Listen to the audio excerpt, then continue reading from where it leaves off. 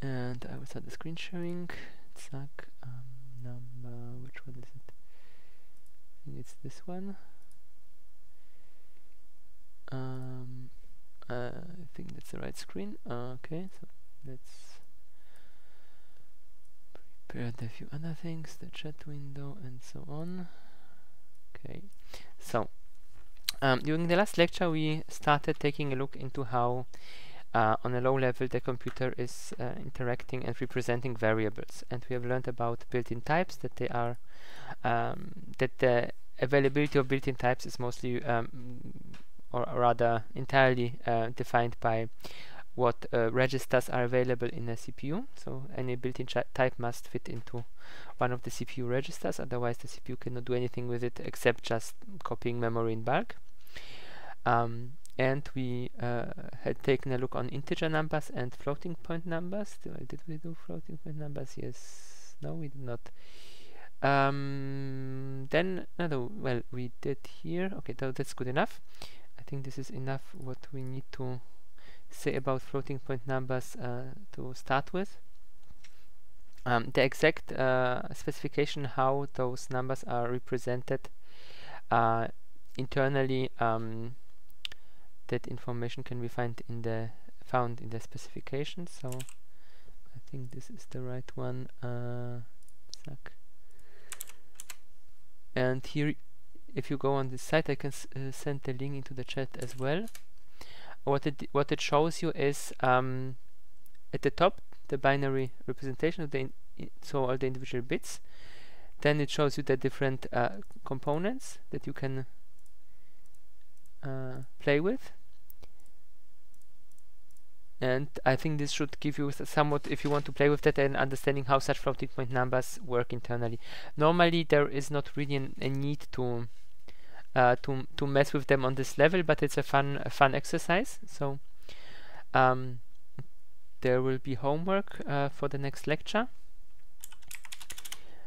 in which uh, the task will be to take a floating point number. So let's quickly write it down somewhere here um, homework. One uh,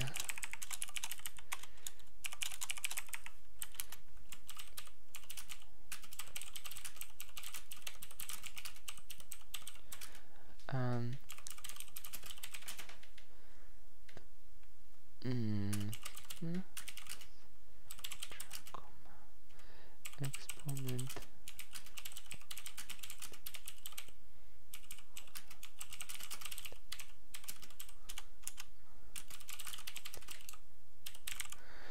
Okay, um, so given a floating point numbers, uh, an arbitrary float, you need to extract the, the sign. So it's basically a 1 or a 0, which specifies whether it's positive or negative. So if it's checked, so if it's set to 1, then it means it's negative. If it's not checked, it means it's a positive number. The exponent, which are those 8 bytes, and then whatever is the rest of a 32-bit um, large register is used as the mantissa for the number. Uh, and how to do that um, we will take a, a look on um, shortly. There is a uh, we will take a look on how operators work, so how you can which operations you can perform with integer numbers, and you can use such operators to um, achieve this goal quite easily. Uh, there, there is also a more sophisticated uh, trick how which one can use to do this dissection but uh, I won't say anything about it. Let's see if anyone of you uh, finds this out on their own. Um, and there will be a optional part of the homework. Um, the same but for a double. Uh, floating point number of type, type float but for a double. Okay be more precise floating point number of type double. So the example that you can find online, this one is only for 32-bit uh, floating point numbers and a double is a 64-bit number so um, this will be um, necessary to uh, find out for oneself how to do that. I'm sure there are there are, is plenty documentation um, and maybe some examples that one can find but uh, I won't point you to any. finding solutions is also a important skill. So, uh, and maybe before we take a look on operators, now let's first do operators and then we will do casting. So, um, as you might intuitively have already noticed, we, we already have been using an operator, the assignment operator, to just assign a value. Um, so let's quickly for completeness write it down. Value assignment. We just use the the assign operator. That's as simple as it gets. And if you have a variable in, uh, my var, uh, let's go. Did we use my var? We did, but only with a suffix. So let's just stick to my var. Then you can have, for example, my var is equals, and then we need to pick one of the variables we had before. For example, my const. And if we put a breakpoint here and run the application, we can see how this is uh, implemented. Well, in this case, in a boring way, because it kind of just took the const value from the top, because it knew that it cannot change. So we should probably start with first having a non-const value. So let's add somewhere here a integer. Um, then we'll call, call the other variable my variable 2 and we'll do this assignment and when we run it now we will see that now it is a more complex operation. Instead of one move which just moves a 32-bit number into um, into memory at the position of um, at a given position what happens here is that we have fir first an operation which loads the number and that to the to a register in this case EAX and then stores this register into another memory location. The way these uh, move operations work is that um, you can specify uh, as a operand a register or a, a offset and uh, when you're specifying offsets you need you need to load the the value from somewhere so you need to have the offset in stored in some register but what you also can do is you can specify a register and add or subtract in one go a value from from this. So this is actually quite a complex operation because first it takes the well it, it starts with having the value in the register, then it adds to it in this case 64 hex. Um, then it gets some intermediate value which is not exposed anywhere um, to, to the user. It just exists internally in the CPU. Then it at this and the at, so this number represents an address in memory so then it loads a memory block of in this case 4 byte size of this size into the register. So it's, it's quite a complex operation. And then when we do the next step, it kind of is similar. So first, of course, it, it already has the value which it wants to store. But then before it can store it, it needs to calculate the actual memory address um, for, for the pointer and then on after that it can be stored. Um, on a ARM platform, which we don't have here, uh, this would be usually just breaking up into multiple instructions.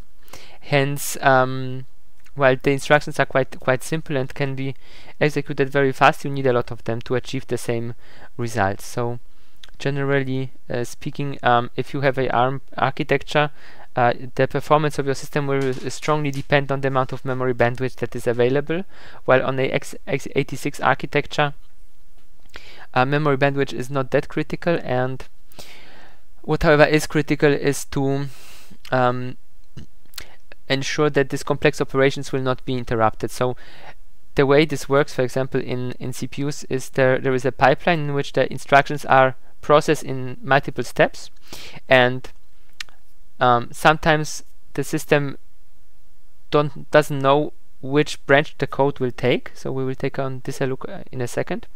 But what it does is it predicts where it probably will go so that it can already start processing the instructions but then it might find out that that was a bad prediction and then it will need to uh, discard some parts of the operation and then redo it at the right branch.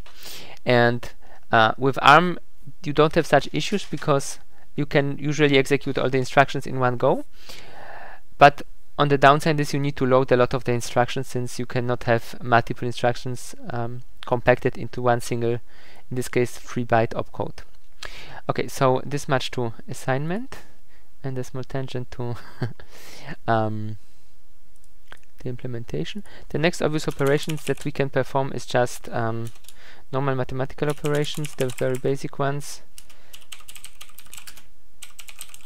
Operators plus uh, minus multiplication division.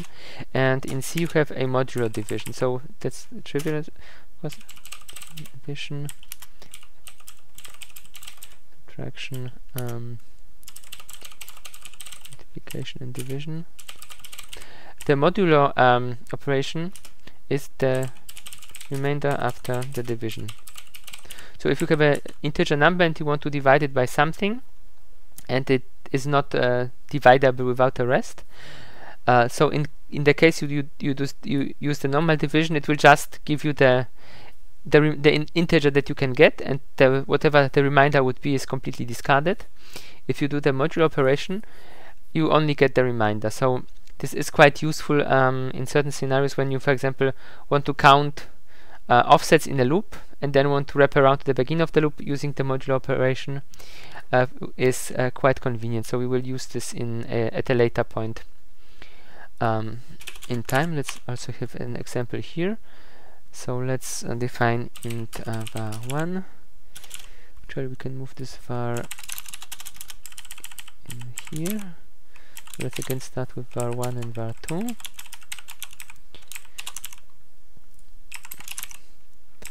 Uh, var1, var2, which will be 4, 5, 6 and we need a var 3 to get the result. We can now just as like in a normal mathematical equation just write one variable name plus the other variable name and another variable receives the value that results from the operation. The way this internally is implemented um, is a bit different. We can take a look in this. Um, as you see here, the way this works is we first load uh, the value of the first variable into a register. Then we load uh, the second variable into another register. Then we perform the addition. And then uh, we move it unnecessarily back to, to another register. If this would be a release build, this step would be omitted. And then in the last step, we write the result back to the in initial register. But you can notice here that the add operation only takes two, two operands. So even at the highest level of optimization, you could not, um, um, how to say it, it uh, in in normal uh, x86 um, instructions, your opera operations usually just take two operands. So you always modify one of, of the operands. So if you start with a value in one operand and then want to have a new value like our variable 3, um, you basically need to first have one operation where you copy it and then have a second operation where you do the addition. On ARM64 this is slightly different. There you have quite a few uh, trinary operations so you have you can specify uh, two input registers and an output register so that you can um, do operations without modifying your input registers. F for practical use this is not so much of a limitation you just uh, because the compiler automatically translates your code to whatever is the best representation binary wise but it's nice to know I think that um, the x86 architecture is a accumulator based architecture. So you always have one register in every operation which accumulates the result and that uh, on ARM uh, on ARM this is uh, slightly different. Um, and on ARM also it's important to say is you have uh, much more registers available so um, it is much easier to to be wasteful with registers. On x86 you, you always try to use as little registers as possible, especially given that in the 32-bit version of x86 you only had 8 general purpose registers. Um, on uh, on the 64-bit version you have 16 so this already a bit better but on ARM you have if I remember correctly 32 registers which is really quite a lot.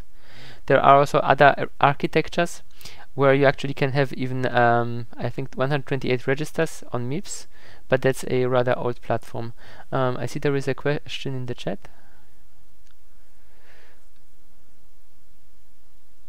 Uh, the question is um, uh, about the homework how it should be submitted. So uh, you should uh, upload your project to Moodle and um, you have usually uh, two week two weeks time to do your project. So the idea is that um, the tasks are scheduled in one lecture. During the next lecture, you, ha you have the opportunity to ask questions about the solution if you are if you have some issues.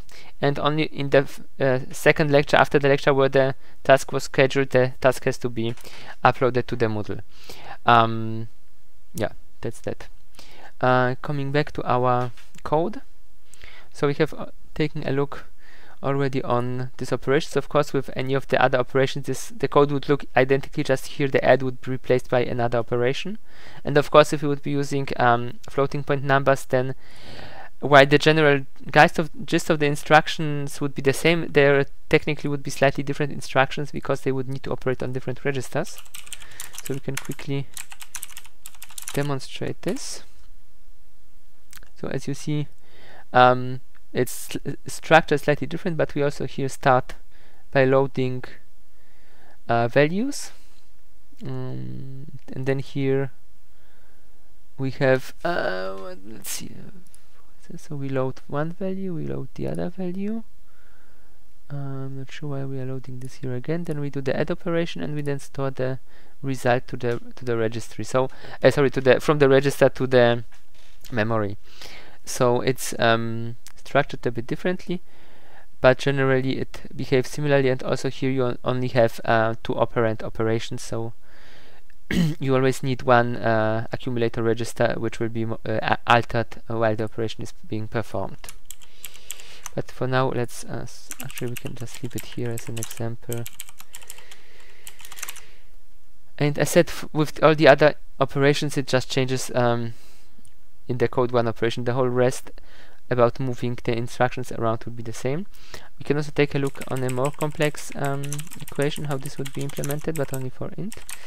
So this will be uh, we will think of a number for that. Um, 4 5 oops 3 4 um, know 7 8 9 and uh, um, uh, we shouldn't write numbers that start with 0 that's always bad. Uh, let's give it I don't know or just 0 yeah let, let's go with that 0 so var 1 plus var 2 uh, asterisk var 3 and we should not divide by 0 so we probably should pick here something. Let's go just divide by 1 and if this is not a release build the compiler should not optimize this operation away.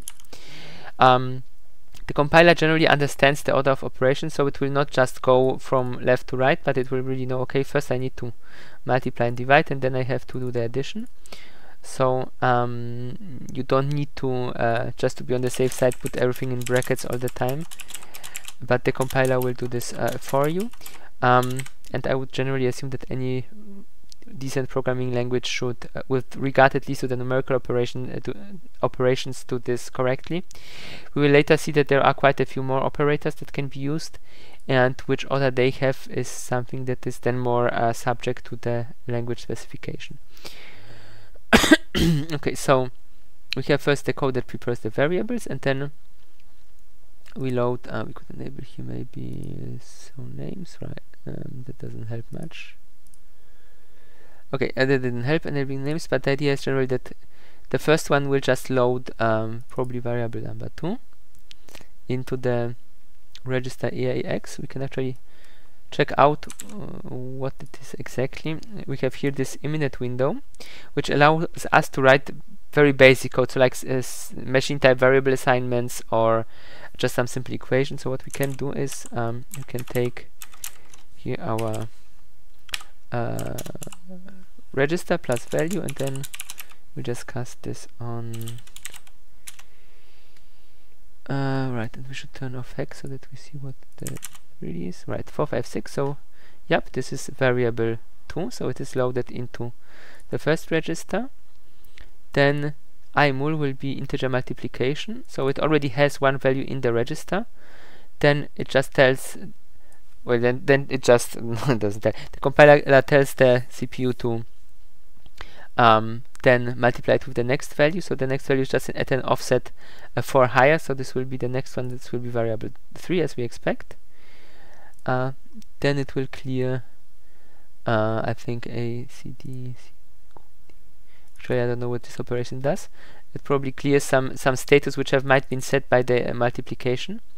so that it doesn't interfere with the next operation then it do, does an integer division again each time modifying EAX and finally uh, here we want to do the addition. So there it loads our um, var1 into the uh, ECX register and then it does the addition.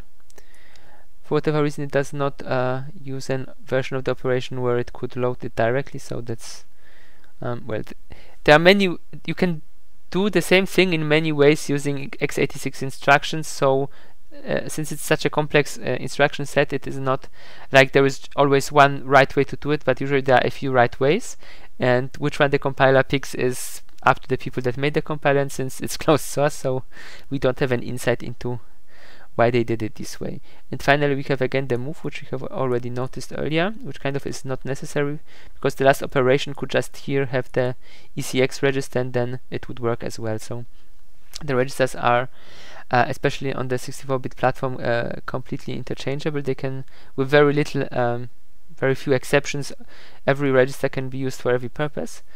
Um, so uh, this code is uh, optimizable let's say it could be optimized a lot but um, it's not our task to optimize it. We can just let the compiler do it if we build a release build.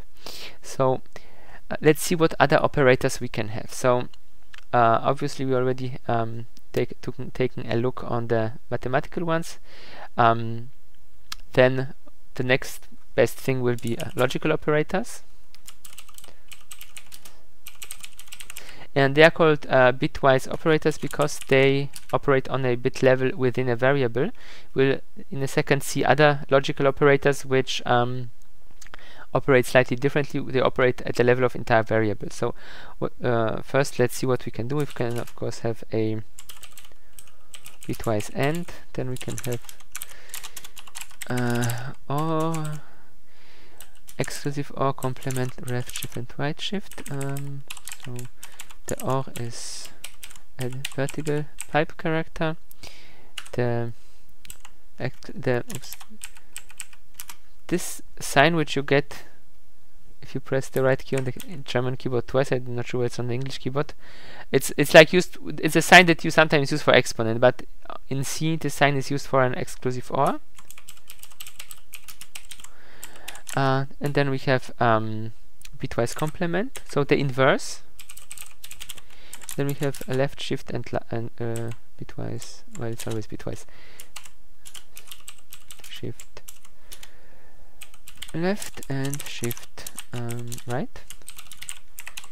So shift left is two characters of this sort, so two um, less than characters and two bigger than characters are the right shift.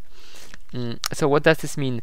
Um, is everyone familiar with um, the basics of, of logic or sh shall we quickly uh, tell what these operators do?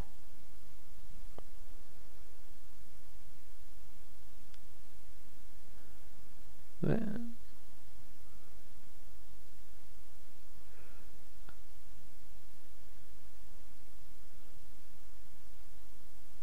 yes.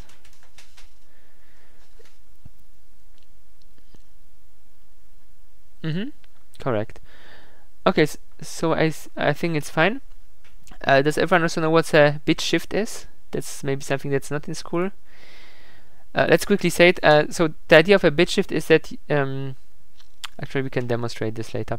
Uh, the idea simply is that if you have a bit pattern, you can shift it by a certain amount of places to the left or to the right, and filling up the new spaces either with zeros or with ones, depending on from which side you are shifting the data in.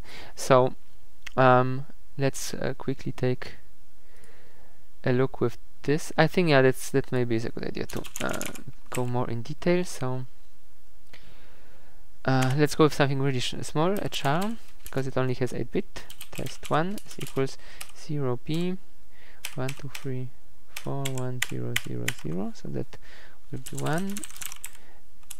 Uh, we need of course to terminate our lines with the semicolon, and the other ones let's fill them with 0101 and here with uh, 0100 okay so sham test 4 is equals test 1 or test 2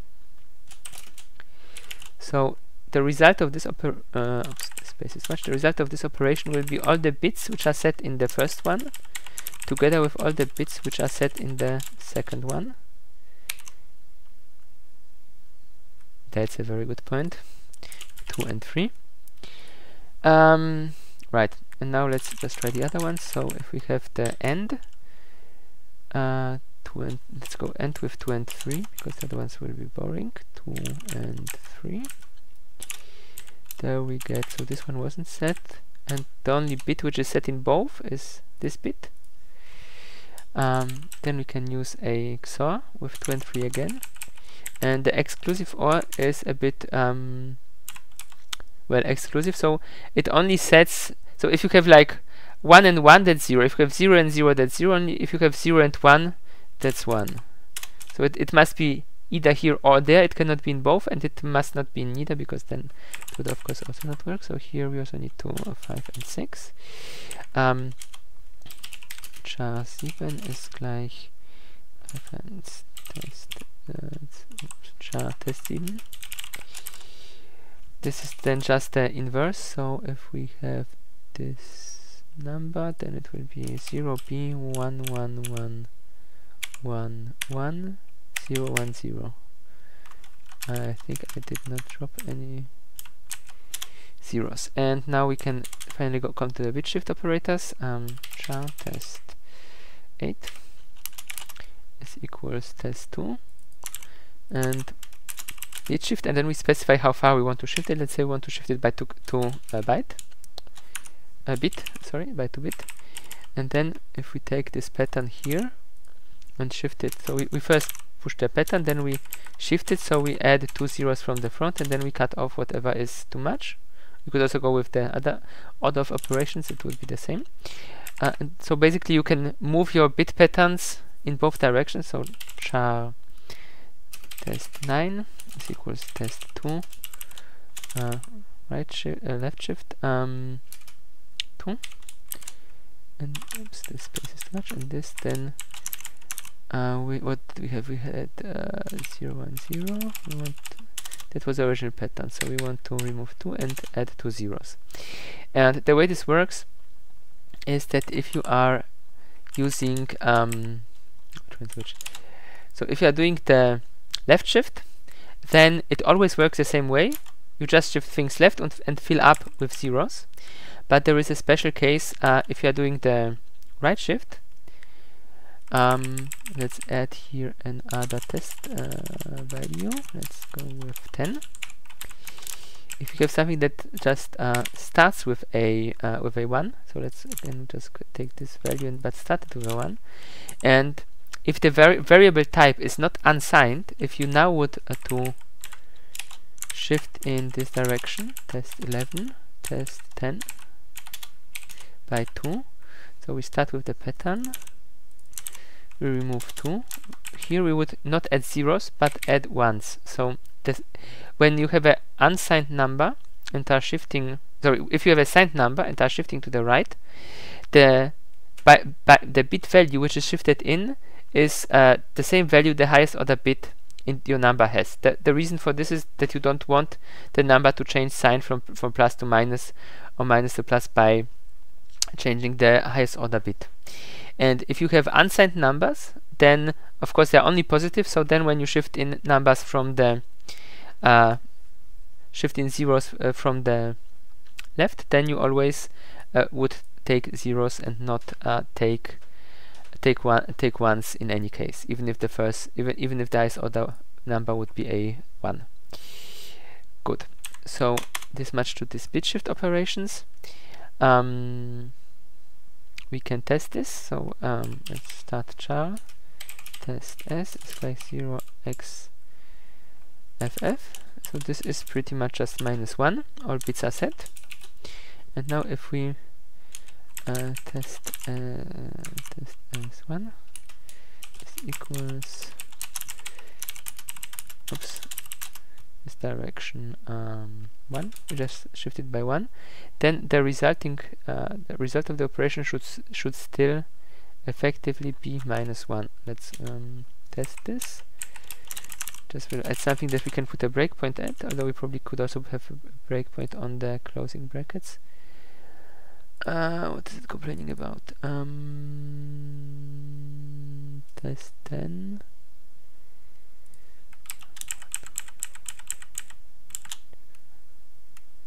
One uniform. Um, it should not truncate it. Um, I think it doesn't like it because it will interpret this as a still as a positive number. So we should just ignore the warning here. Uh, treat warning as errors. We just turn this off again. Then it will compile. Um, almost. Uh, redefinition. Did I? Yeah, I reused that. Um, now it should be fine. Okay, and if we check on this number, we see that even though we shifted it, it still is minus 1 because the representation of this is just all ones. And if we just shift in a 1, then it will not change anything and we are just dropping a 1. And if we kind of repeat the same thing, uh, however, with, um, let's call this one S2 and S3, but with a value which is not um, minus 1, but 1, 2, 7 that's the highest value that you can have uh, as a signed value. Uh, 7f uh, right should work. So let's um, the breakpoint and run this code. Then the number will be um, changed and great now we need something. So the thing is um, you can sometimes and sometimes not put breakpoints on a closing bracket. It depends whether there is some code which will be automatically generated but if you don't have automatically generated code there it is needed if you want to have the breakpoint to just put something that you can put the breakpoint at. Uh, oh wait. It was a mistake. We should have here of course uh, our new value. So when we run this we see that now we got um, 63 and 1 to 7 by the way if you divide by 2 as an integer, you get 63. So here you can notice that uh, bit shifting something to the right by 1 is equals to a division by 2. If we would bit shift it by 4 uh, by 2, it would be a division by 4 and so on. And since uh, on most uh, platforms um, and multiplication or division takes much more time than a bit shift, on a modern CPU that is kind of not really the case because they are so optimized that they can do uh, usually even those operations in one go. But this just means that there is a lot of uh, silicon involved in the operation so it will uh, consume much more energy. But if you have like a very primitive uh, system like Arduino which only has a few instructions there you can expect a multiplication and division to take uh, many many many uh, cycles. And if you want to optimize your code by hand, one of the good tricks is if you know that you only divide and multiply by 2 or powers of 2, then to use bit shifts instead. Uh, but to uh, finish our demonstration, we will now copy this line. Just this time we will make this an unsigned integer. So this will be then um, 3, 4, and 5, and this should be 4. Uh, S4 and of course we need something to catch again the breakpoint at and copy. Zack. and if we run this we will see that here the number again stays well since it's uh, always negative it, it stays at 255 actually I should improve the comment 255 this one or well it's same as it's not quite is equals but it's same as functionally. And you see that here the number since it was unsigned once once we shifted it got reduced to 1 to 7 because uh, a 0 was, was shifted in from the from the left side instead of the 1 so we can also see here that um, wherever it goes by let's see that's the operation here it loads this uh, it uses shift a, well shift a right. Um, and if we use the other one um, one of them it should um, indicate that it uh, okay here it kind of um, always uses the same instruction because it first shifts the value into the register using a different instruction so this kind of is a bit uh, tricky. But if we would do this thing with uh, numbers as big as um, what the compiler can handle um, then it should uh, use different instructions for the shift as such. We could quite quickly try this. Now that yeah we can. Mm, let's um, copy this into another code block. Um, on another note, you can reuse variable names as long as they are in different uh, brackets. So if they are not in the same bracket, then you can reuse a variable. And of course, in this case, the variable stops existing after the bracket closes. So here we can no longer refer to test1 uh, equals 0. It will just complain that this variable does not exist. Um, if we would have another bracket inside a bracket then we can in principle access all the variables that exist in the parent bracket. So here we can still access this one. Um, but in principle when we would have uh, a bracket inside another bracket we could redefine an existing variable and that would work.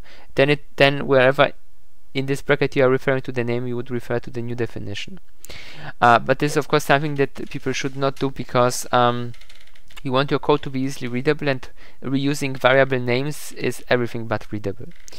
But anyhow, com coming back to this, let's go with int64 instead of char. And here we need to use, of course, 64-bit numbers. And of course this one is not valid. The minus one technically is still true. This one will not be. Uh, right and we want something to break on. Zack.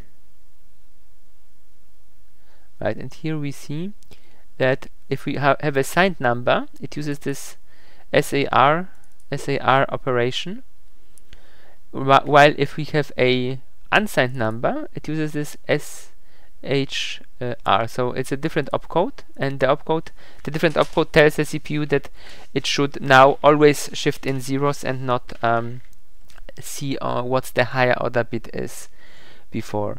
Um, yeah. Good.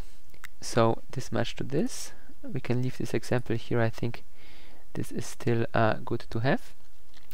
Um, good. So let's continue with uh, the next group of operations. Um, comparison operations. So uh,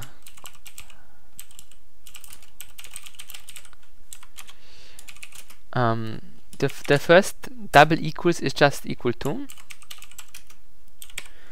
So this operator takes two variables, it compares them. If they are the same, then the result of the operation is true. If they are not the same, the result of the operation is false. The other one is kind of redundant. It's just the opposite. So if it's not equal, in C++ it's an exclamation mark and then an equal mark. In some other languages this is different. I think in MATLAB script it's like a tilde equals. But in most uh, C-like languages it's exclamation mark equals. For example, JavaScript, TypeScript, um, and such always use uh, this to denote that something is not equals. Then we of course have the, the simple less than and greater than. Uh, and then uh, we of course have uh, greater less than or equal and greater than or equal which looks the same.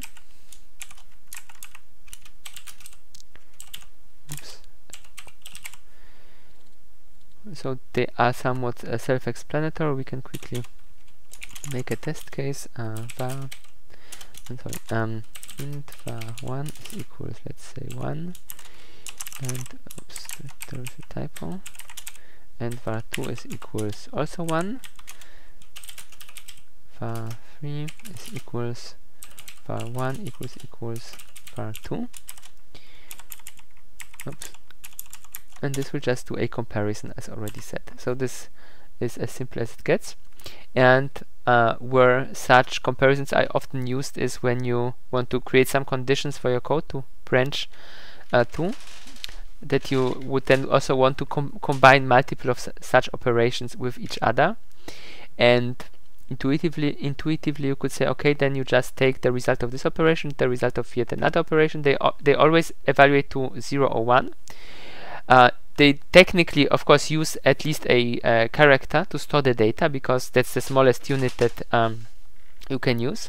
Um, for a variable you cannot define a one bit variable um, on the level of of the CPU there are tricks how you can use a C to uh, create variables in C which have only one byte, but effectively they will be mapped on a much bigger uh, variable, so uh, access to it will be a bit uh, more complicated um, and need more computing power. So if you want to it to be fast, you just stick with using uh, one entire byte to just represent, to basically just use one bit from the whole byte.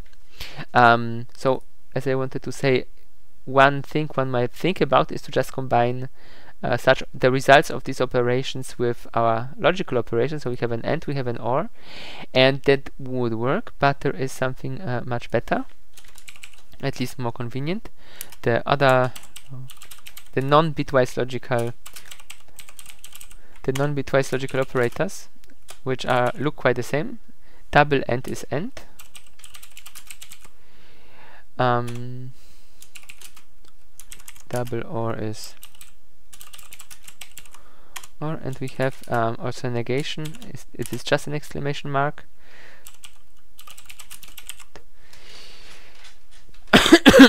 So the way they work is they don't evaluate individual bits within a uh, variable within a register but they just evaluate is the entire register 1 or 0 or rather is the entire register 0 or something else? So if you have uh, if you would store a, a, number 2 or any other number that is non-zero into a register this register will evaluate as true no matter what number it is.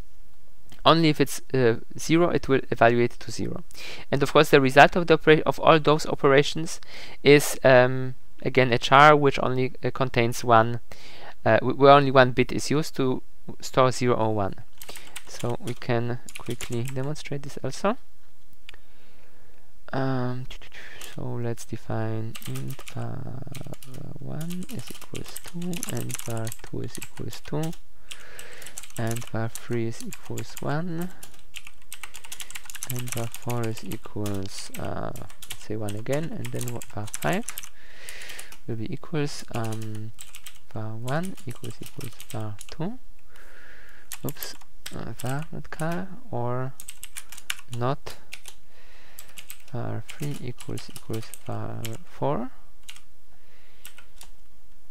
so this this part effectively is the same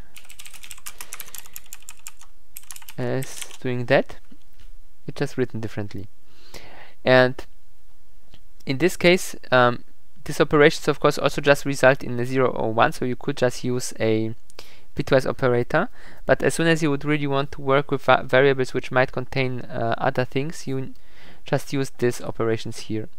An interesting side note is that if you would use um, uh, 6 is equals um, exclamation mark exclamation mark variant 1 for example like a double neg oops, double negation then here uh, var 6 will just become is equals uh, 1. So first we check it, is it not 0 then we get uh, wait so first first we check. Basically if you have two exclamation marks they kind of negate what was done bitwise. But since the results of the operations are al always only setting the, the lowest order bit then you can use uh, this trick to reliably cast any to, to or rather say, let's say it differently to reliably test whether a variable is not zero. And usually when you would be just writing C code that would not necessarily be always important but um, if you write C++ code then compilers might complain if you would be assigning for example a variable of type int64 to a, a boolean or to a character simply because if you're just doing the assignment you might lose the higher higher order bits. R rather you will always use, lose them but you might not care about it. The compiler doesn't know so it will assume that there is something wrong. Um, and if you use this double exclamation marks then you just say the compiler I just want to have a 1 if the thing contains something that's not 0 um, and of course you could um, use the and as well. You can make a arbitrary complicated um, operation so yeah. And there is let's see did I forget anything? Nope. There is one more operator which is quite interesting uh, before we continue to the other ones. Uh, this is the so-called trinary operator.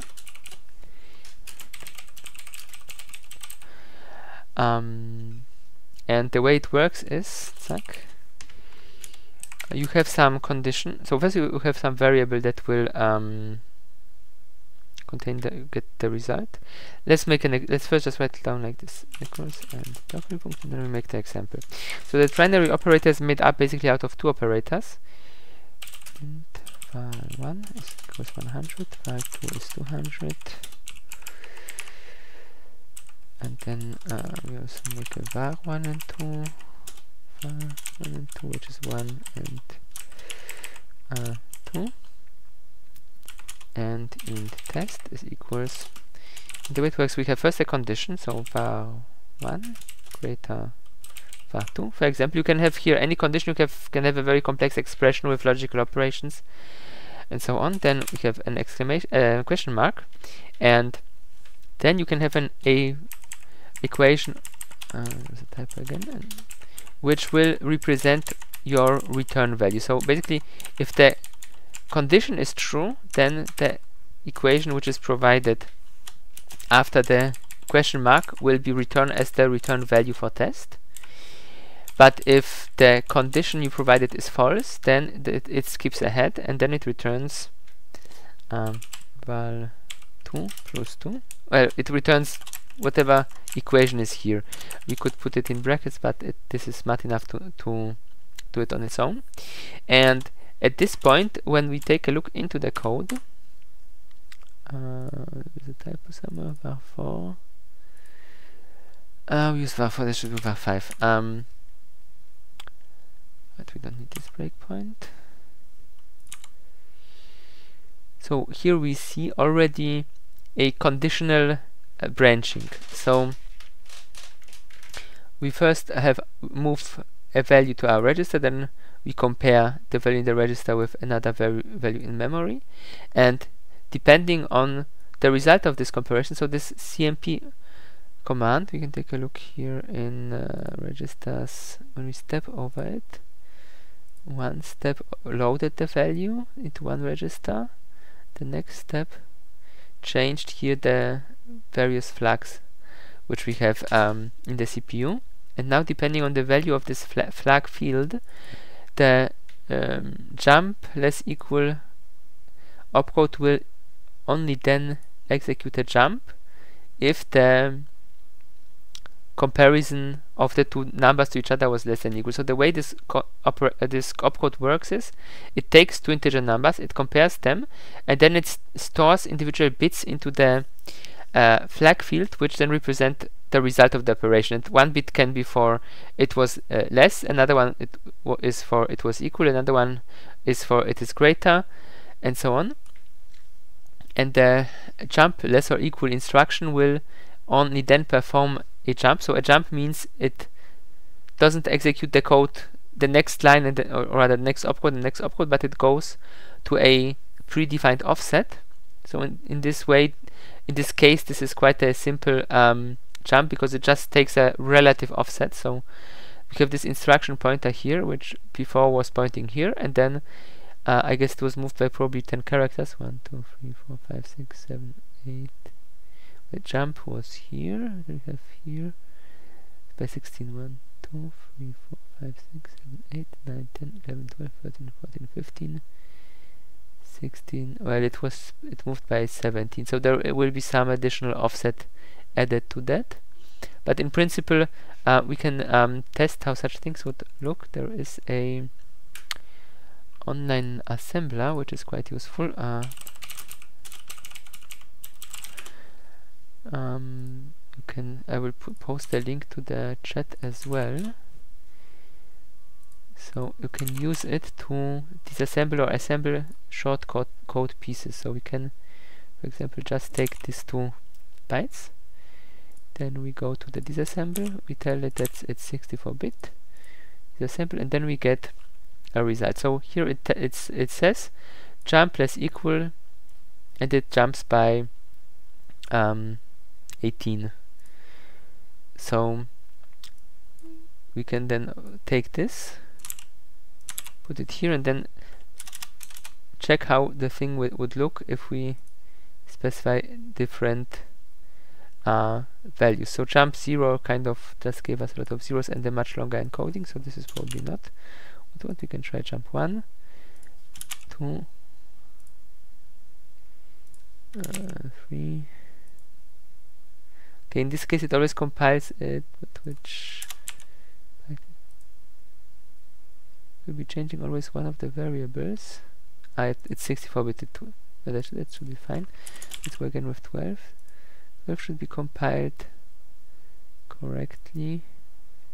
It kind of here always chooses a different binary representation than what we fed it, so that doesn't kind of work out as I wanted. The idea basically is that you can compare when you change values here with what your output is, and then you can kind of learn where where the where the output maybe, maybe it doesn't like. Let's go with this representation. Nope. Mm.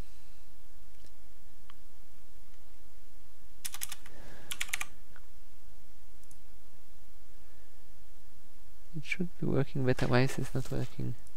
Um, usually this set works for me quite well and I can just spe specify values and then it will always um, pre present you the, the machine code output but for some reason here it always assumes 0 um, it might not like the encoding. Um, doesn't like the register. Um, I mean, we could just use uh, JMP, which is just a, a, unconditional jump. Let's see if this works. Um, 16. Okay, the website is broken. Um, sorry about that.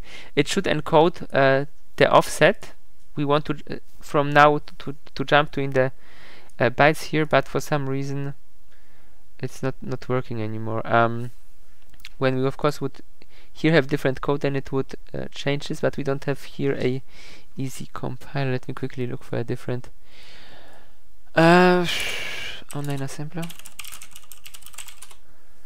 um, Shell-Storm that's a good one. Let's try this one. Okay this is another one which hopefully is more reliable. Um, and it supports much more uh, platforms so we go to 32 uh, so 64 bit x86 uh, jump 10 right that works fine. Uh, what, is what is jump less or equals 0x12 uh, right and it provides us the output we have. So uh, 7e 10 this is what we have uh, here 7e10 and if we change the jump for example to just jump to 0 okay jump to 0 doesn't kind of work. A jump to probably 3 yeah so um, you need to enter a value which is relative to the instruction pointer but not something that would still put you within your um, actually executed instruction. Since this uh, instruction is three characters, uh, sorry, two characters long, the smallest jump value you could specify would be three, and then it kind of here just you uh, enters you a one. So if you go to 13 decimal, that would then go to B, and if you go to uh, one three, this should uh, sorry uh, zero x one three it should give you here a uh, right we have 0, 0 x uh, 1 2 then it will give you here uh, a jump by 10 and at some point if we add a bigger number it will change the representation of the instruction. So as you see it now looks quite different. And it adds an entire 32-bit number so here now we, we, we can have a jump offset of uh, plus minus 4 gigabyte uh, sorry plus minus 2 gigabyte um, which is uh, usually for most applications enough you usually won't need to jump uh, further than that. If you would need to make a, relative jump bigger than this, you would need to craft it by hand using the uh, instruction uh, instruction pointer register. Um, so that much to this, and I will put this then as a link since the other one didn't work. Uh, it's it's really nice to play around and see how the, the code changes. So if you want to handcraft some code, this is a very useful tool. Um, I'm sure there is also like some uh, offline version of that, but um, I just am using this for convenience. Uh, right. And as we have, anyhow, coming back to our code, as we have seen here, after the comparison and this jump less equals, we skipped this whole code block here and go went directly to this move instruction. If we would change the condition here to um, I don't know to the opposite, uh, then the behavior would be of course different. We still load, compare, but, but now we have a different comparison, jump greater equal, and if we now execute it step by step, we see that the jump instruction didn't do anything because the condition was not met. Instead, we are executing the first code block. And what we then do is we have here an unconditional ju jump, so let's do that and the unconditional jump brings us here which is the same point we would arrive if we would have taken the other branch and then we just store the result uh, as we already have done before um, using this trinary operator I would recommend to use um, at, at, least for the last value brackets because um, while it's defined somewhere within the language what's the order of how the operators are applied, um, I would usually just only want to rely on the order of, mathema of mathematical operators because that's always universal, while, um, for example, logical operators might be defined differently in different languages, which priority they have. So, um, in this case, using bracket just to be safe is, I think, a good practice. Okay, and uh, before we uh, make the jump to the um, flow control, let's quickly take a look on some convenience operators which are also available. They are, well, as the name says, convenient.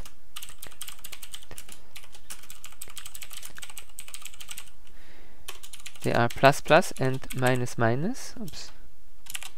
So uh, what one would kind of do by hand, for example, would be um, int var1 is equals 1 and then if, oops, if you want to increment this by 1 you would write int var1 is, in, is equals int var1 plus 1 and you need to type a lot. Uh, or let's yeah. What you can do instead is you can just write and done so you saved uh, kind of like five characters here and with minus this works the exact same way uh, there is however a um, catch to a trick, let's say, to this, because what you can also write is also you can write uh, plus plus var1. And these two uh, usages are not uh, equi equivalent. So here, uh, oops, test1 equals this, and here let's do it with test2. Test2, it also starts with 1, uh, sorry, var2, and then we make test2. Test2 and the way this works is both after we are done so here our var1 will be equals equals uh, 2 uh, that should be var2 and here our var2 will also be equals equals 2 but what is different is what uh, the value of test1 will be. In this case uh, the value of test1 will be uh, 1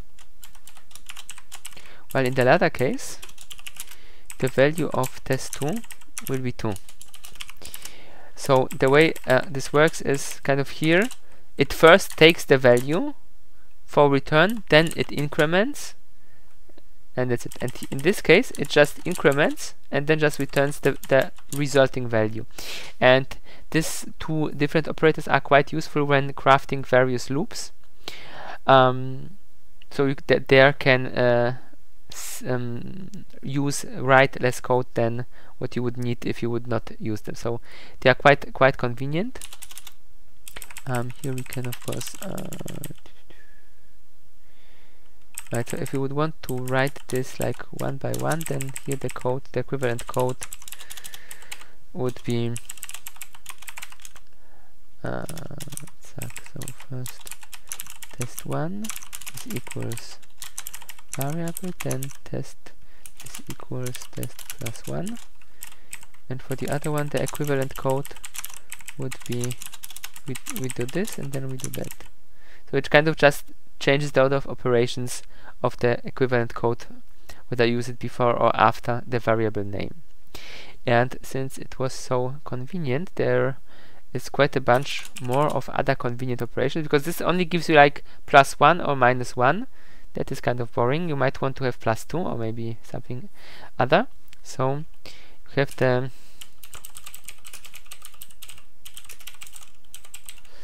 uh, oops, the combined assignment operators so uh, they are not as flexible but from for half the use cases they are good enough plus equals add and add and assign minus equals, subtract and assign. And of course the rest works the same, so we have a multiplication, division and oops, division and modular division. Multiply, divide, and modular. So um, obviously um, having a variable let's start again with test 1 test 1 um, plus equals 1 is equivalent to just um, same as var plus plus. And what you don't what you cannot do is you cannot implement this lower this latter case here with these operations. But for everything else you can use them. And as you see in comparison to this this still saves you a lot of typing. Plus it gives you the ability to really use any number you want. And often when doing things you might um, want to do such uh, operations of this kind. And also it's quite good to note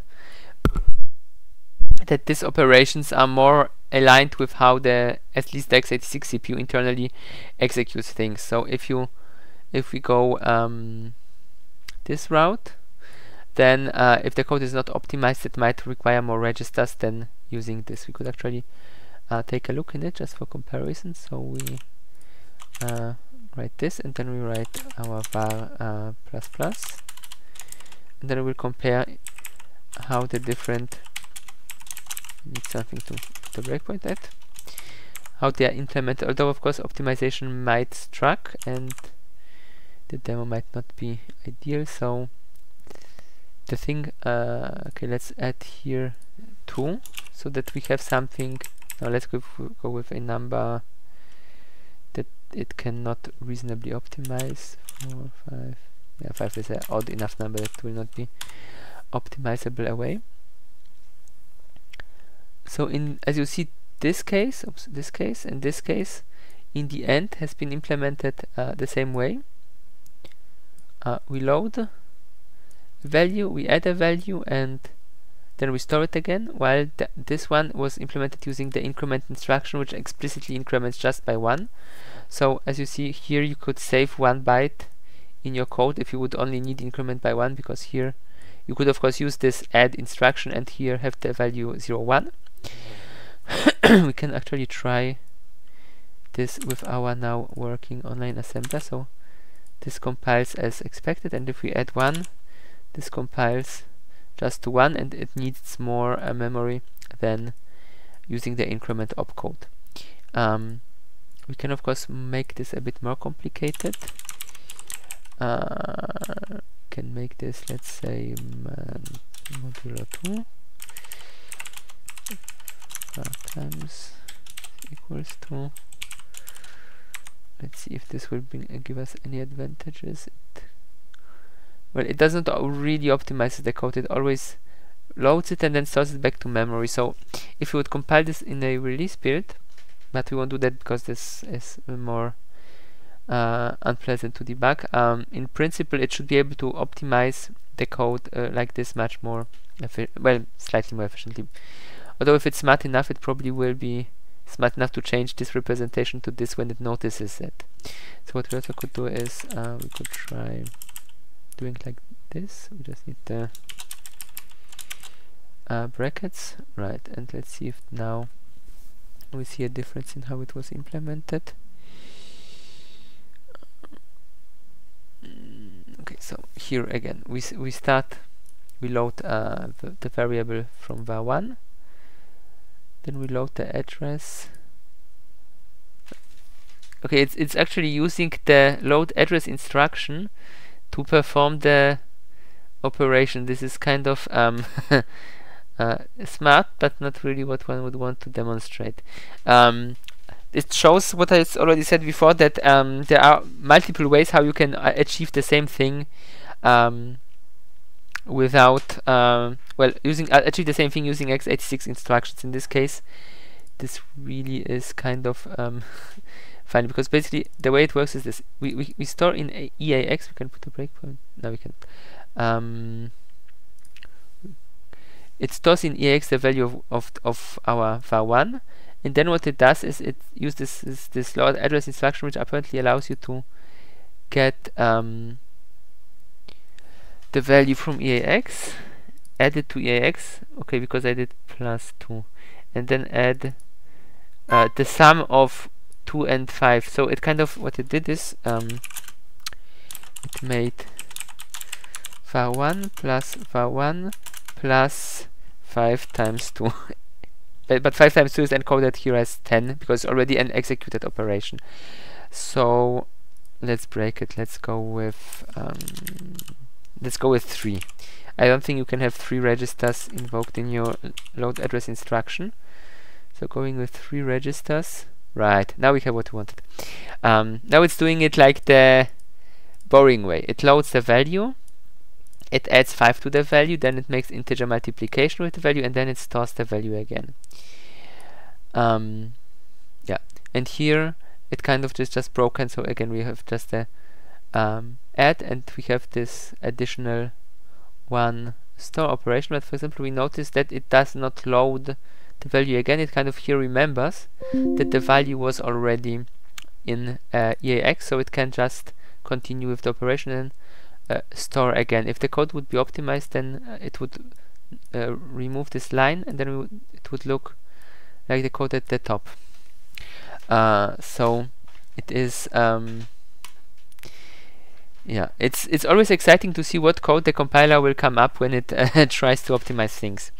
Um, okay, and I think at this point we already had uh, almost everything related to variables. There are just two, two very small things that are worth mentioning. First of all, um, when you have variables uh, and you want to define some special value, so let's say you want to have a status and the status says um, ready, not ready, or completed, or, or, something, then you could of course just remember that 0 means uh, not ready, 1 means ready, and 2 means completed, but that's of course very not user friendly.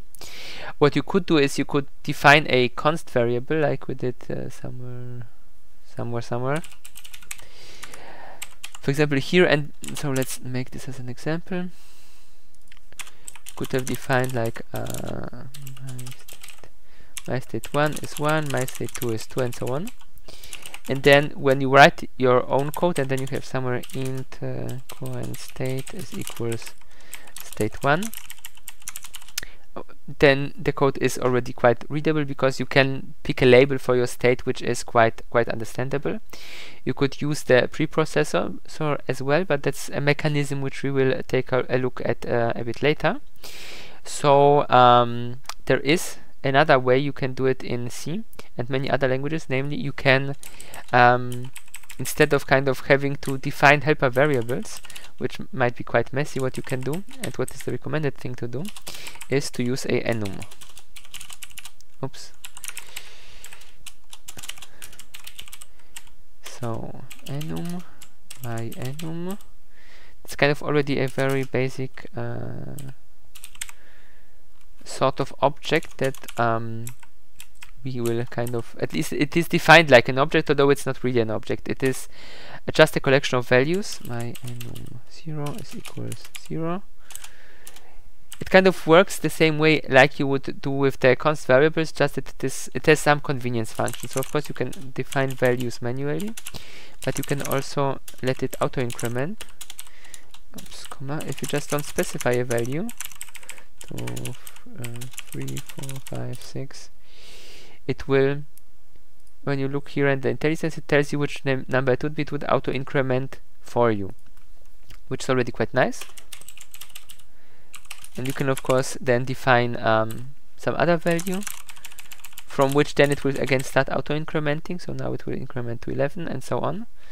So um, can also have like let's say 22 and whatever you want. So this this this is just a label. You can use any name that would be valid for a, a variable um, as a label here in the enum and you can also ha have a enum uh, class. This is something that is not kind of um, used in just C. It's only used in C++ uh, customary and the difference uh, we will take a look at in a second. So let's just first define that as a normal enum. Oh, and one, one more thing. If you just define an enum like this, it will be um, usually 32-bit characters, but you can uh, tell it uh, to just use a char or you could specify it to be a um, short. So if you know what the range of your enum will be, you can um, tell the compiler to use a smaller data type to save on memory. So um, and now if make a variable and you can use this enum name. Oops, there's a typo here. You can use this enum name as a type. So I and you can assign uh, directly one of your enums to it. So you can basically create your own set of values which have labels and then a type which then takes such um, labels instead of numbers, which is quite uh, quite convenient. Um, you can assign whatever you want. My enum, oops, my enum one, my enum two. Um, you can use uh, the enums to compare something. So int, uh, int let's say uh, enum one is equals equals uh, something. Let's say 4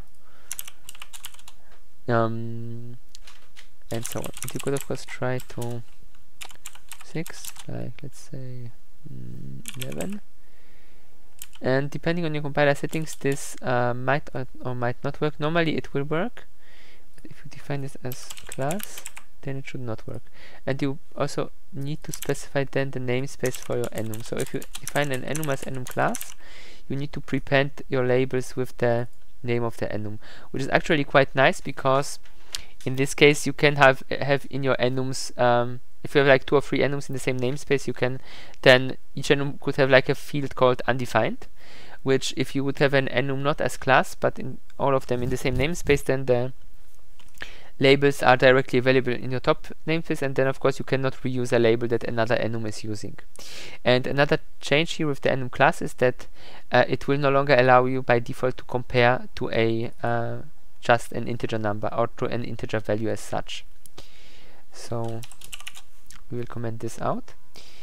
Um, yes, and uh, last thing with regard to types, um, what you can do is you can define your own types which like or, or let's say your own type aliases with the machine types this is kind of not very interesting but with more complex types which we will uh, take a look um, in one of the later lectures this becomes actually quite useful so um, type def then you specify which type you want. For example unsigned int64 I mean this one is already quite long and unpleasant to type. So let's call it int64t and voila.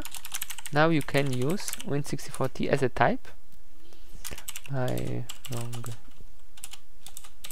int is equal to 0 and effectively the compiler just knows okay if you use uint64t then it needs to place this type here in for you this helps with code readability with uh, very long types and also in such cases I think it's much more convenient to have just a uint instead of typing unsigned each time. That is quite a um, improvement. And the last thing about variables I think which uh, is very important is um, if you have a variable of a given type how can you uh, convert it to a variable of some other type? So typecasting the process is called typecasting. And it allows you to do just that. And oops. so let's create a int var1 is equals 7 8 and then let's make a short variable var2 so this one is only 16 bit oops bit but this one was 32 bit. And in principle if we want we can just write var2 is equals uh, var1 and depending on our er warning settings this will either be accepted as is or it will create a warning. Uh, actually want to just see the compiler output uh, build. Here it did not warn us so let's uh, change the warning level to 4 and build again well it, it warns us about many things um, for some reason does not warn us here that we are losing data. It should uh, it should warn us normally, because in this case, when you do this operation, what you will end up in your uh, var2, oops, var2 will be just the lower order bits of our um,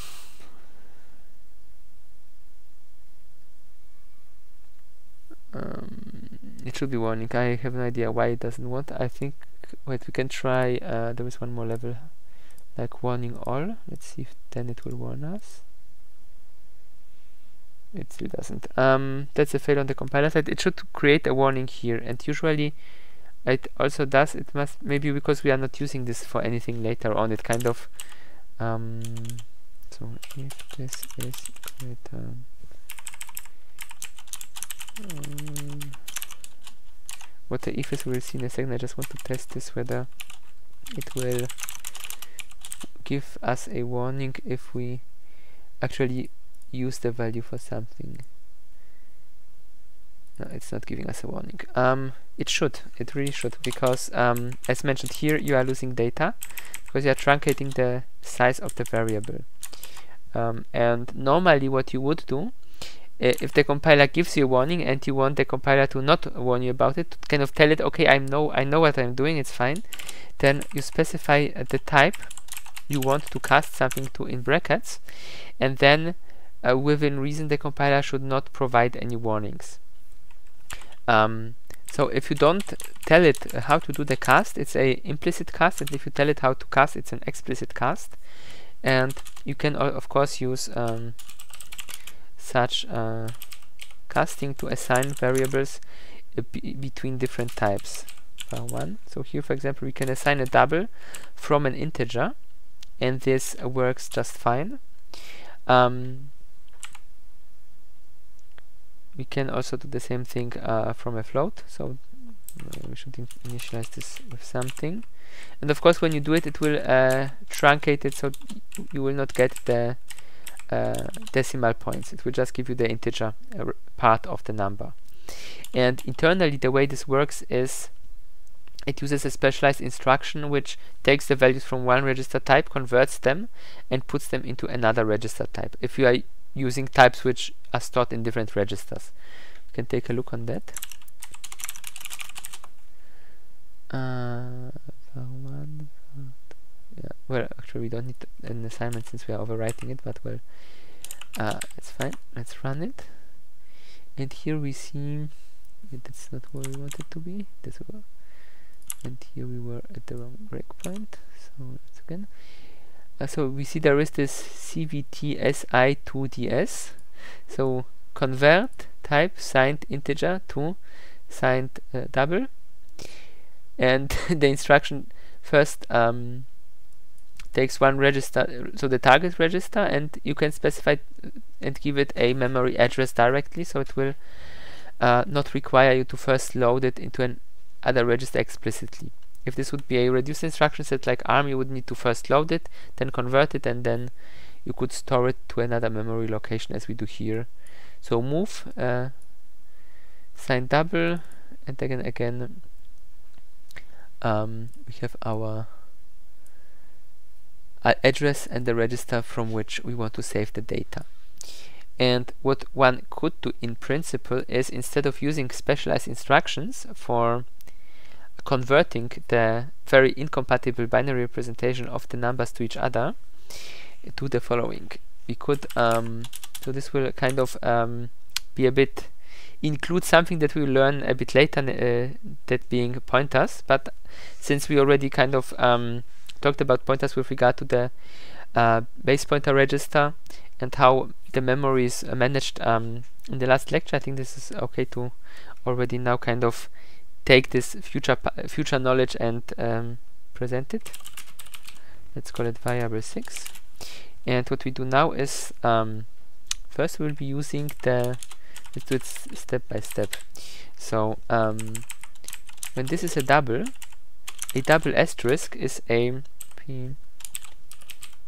a pointer on the double. So the pointer on the double. So the double basically is a variable which which which which represents itself. It it has its own value and that's it. A pointer is just a variable of type integer which contains a memory address. And in this case, we will want to give this variable the memory address of our variable 3. We can do this with this um, AND operator or the reference operator. It gives us the address of the variable in memory instead of giving us its content. And when we have this address of this variable, what we can do is we can um, create a pointer to an integer. So let's call it uh, int asterisk. Oh, that must be a int 64 since double is of course 64 bit.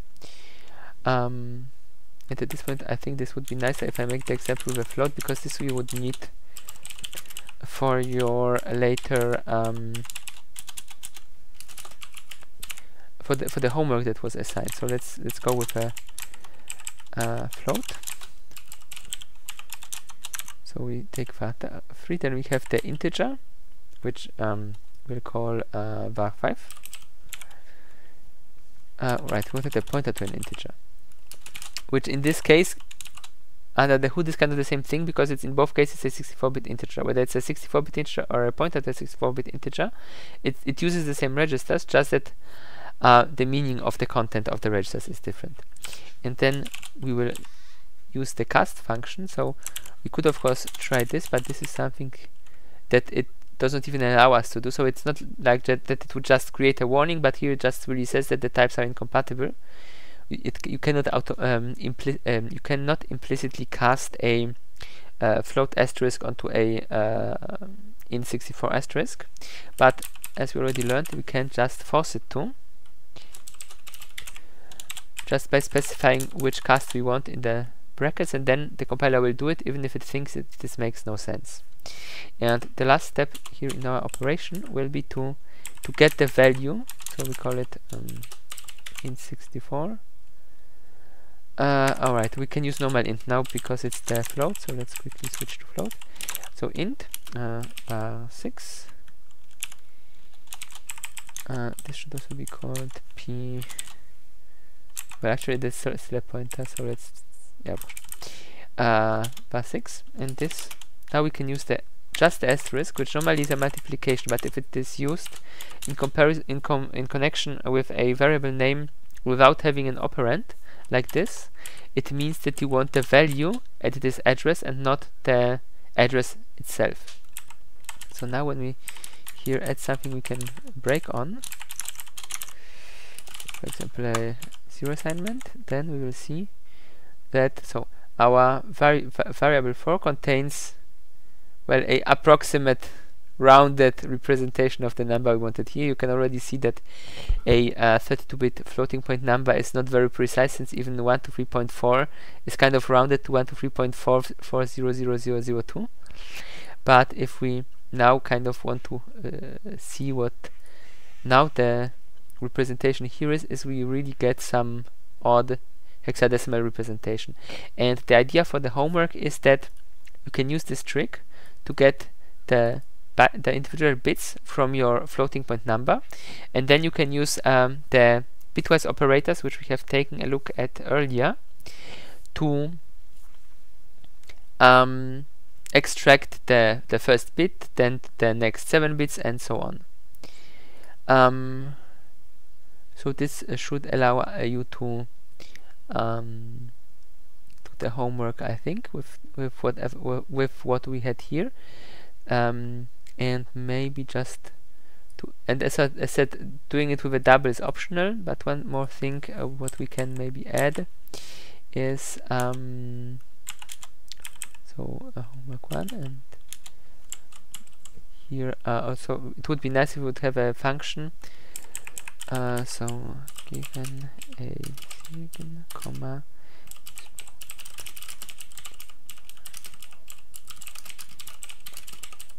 assembly float number so basically just do the opposite so first you have a float number then you take it apart into these three con, con, con if, if constituting integers and the next task will be take any given of these three constituting integers and then make a floating point number out of it.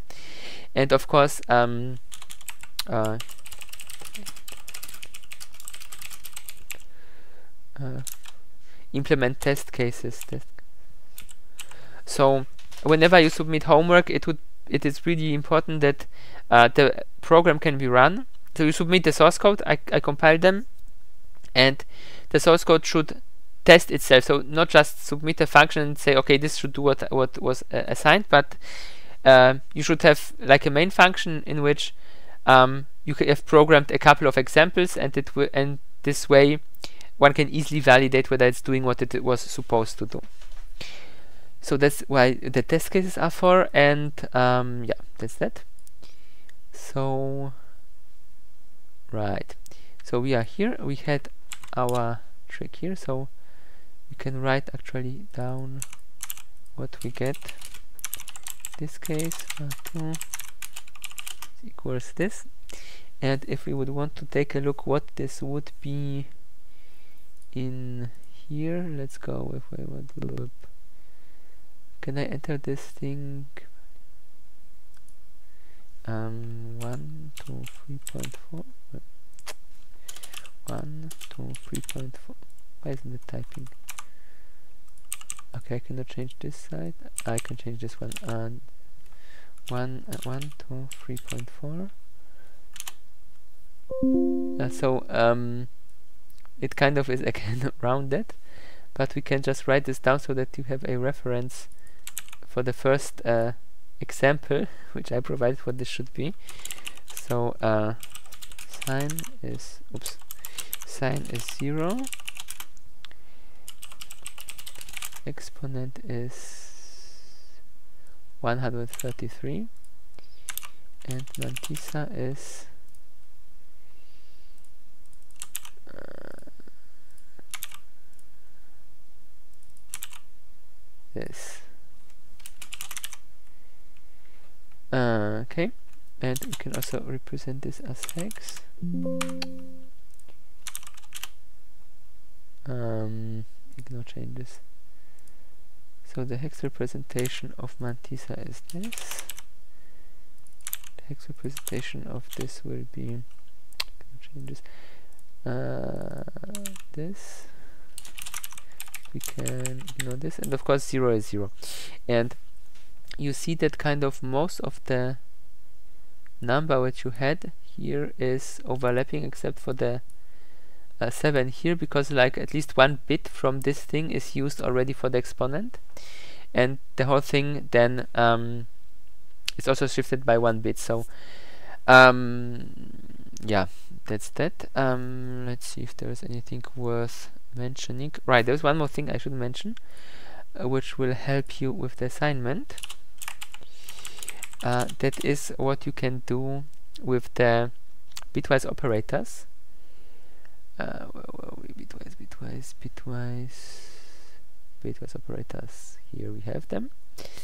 Um, that is, you can um, use them to set uh, easily, at, at, least somewhat easily, individual uh, bits. So we had the shift operators, but let's now um, use uh, individual bits as flags. So if you, for example, have a lot of parameters where you just want to have a 1 and a 0 and that's all the extent of values that you kind of really require, then um, what you can do is you can just define um, char b flag 1 oops, null b 1 uh, flags flag and always use just one bit for any given flag. Uh, of course needs different numbers. One two three four. And then you can instead of having like for example in this case four um, character char type variables where each variable either just stores a 1 or a 0 you can use one variable for all of them and then just set or clear individual flags. So of course you can uh, char test um, use uh, the normal operations to combine some of the flags. So let's say we want to set the, the first flag and the fourth flag. You just use the OR operation and voila, you already have your flags. And then um, let's say we want to set one more flag to the variable, to the flag field, so to say. We already have seen the um, these operators, so uh, right. I mention that this also exists um, uh, somewhere at the top? I told you that you can use this with did I write it them down? Right here. Uh, and uh, so instead of just writing all of them down I just write that you can also use bitwise operators bitwise binary operators as well here. Uh, so you can then just for example set flag number 2 and oops, and of course the question is how would you clear a flag? So how you remove a bit from your uh, bit field. Adding is it adding it is easy.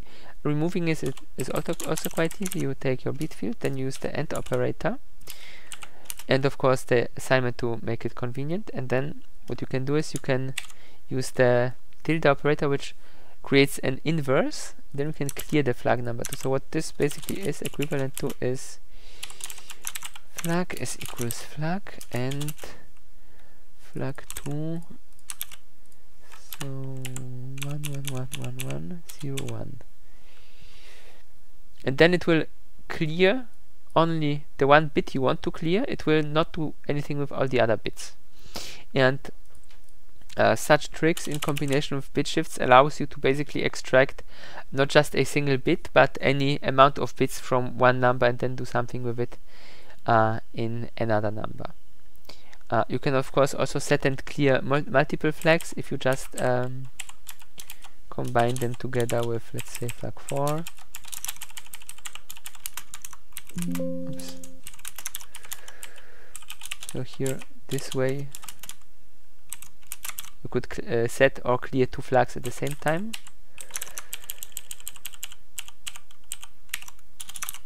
Uh, right. Bit shifts we already had. Um, right and one more thing to be most explicit about how such things work masking. Um, let's say we have a bit pattern um, uh, f test 2 let's call it. P test 2 for pattern. 0 b 0 0 0 1 1 0 1 1 right. Um, so in this case uh, what we have learned from casting further down um, if you would want to well in this case it's difficult but let's say you want you are only interested in the lower bits. So only in this four so you could do test uh, test uh, L for lower part. And then just use the AND operator 0x 0f and you are masking out all the lower order bits. So effectively this one is is equals this um, and 0 b 1 2 3 4 1 2 3 4 so the bits which are contained in the lower part are maintained as they are so having a 0 1 still gives you a 0 but all the bits in the upper part if they are ended with uh, ended yeah ended with zero um, then they will be cleared. So this one goes away and any other one would also go away.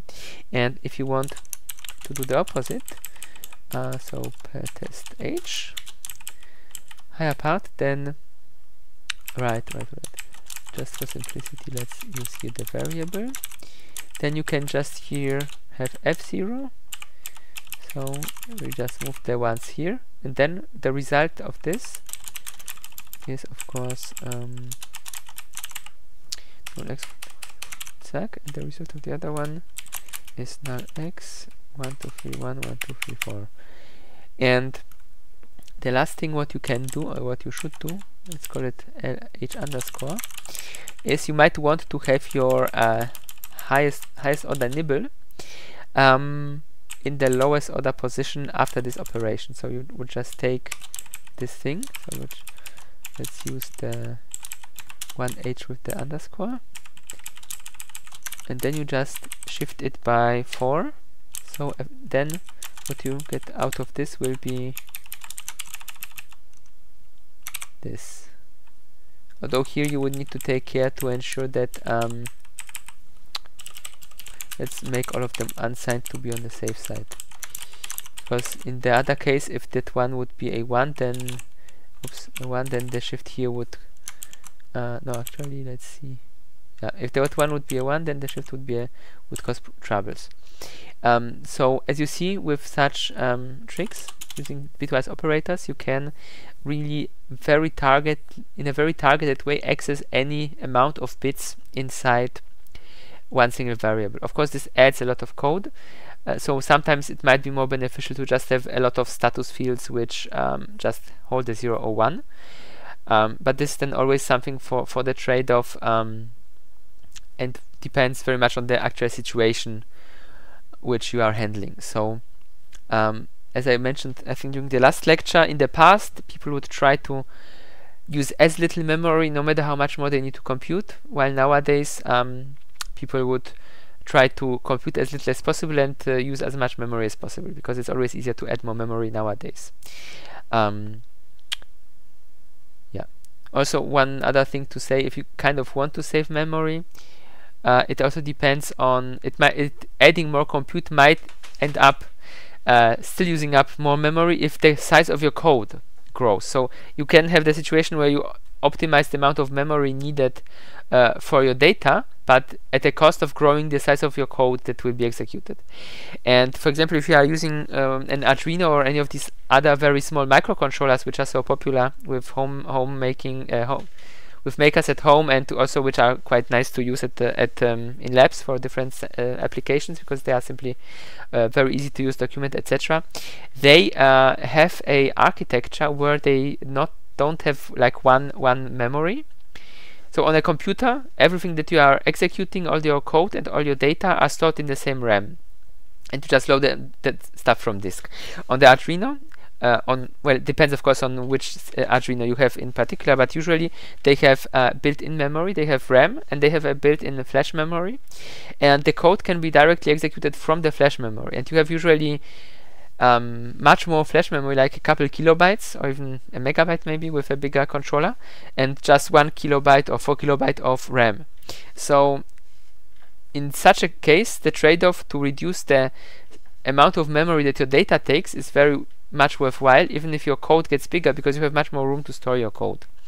On a old DOS computer from 20 years ago, since everything needs to fit into the same RAM, that would not be uh, necessarily a beneficial trade-off. So optimizing is always a very individualized uh, way. Um, okay, I think this is everything that is worth saying at this level about variables so we can continue to the next part uh, namely the uh, control flow. Uh, since this since we should do some short break at some point I think um, this is a good time to make a five minute break. If you have any questions you can ask them. If not um, we will continue after five minutes uh, with the control flow um, project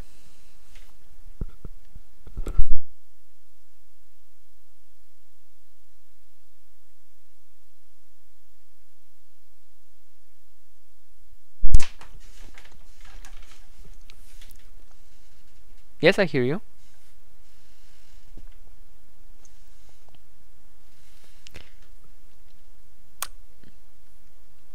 Um, it's always available. You go on debug, then Windows, and then wait.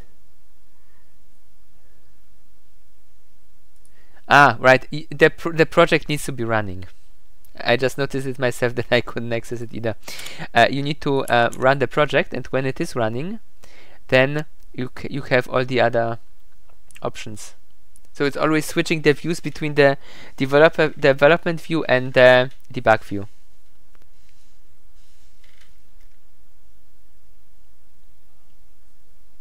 Mm -hmm. You're welcome.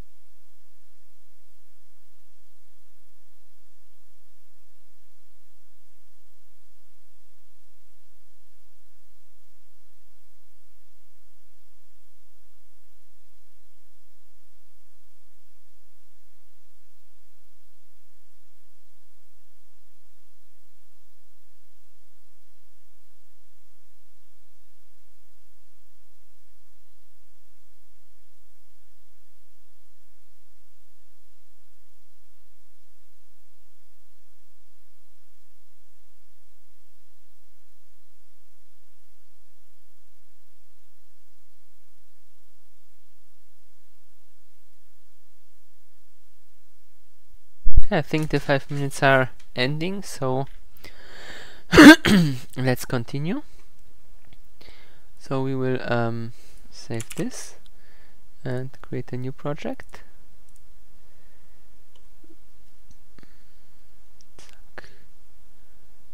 Create new project. Console application. Control flow. Great.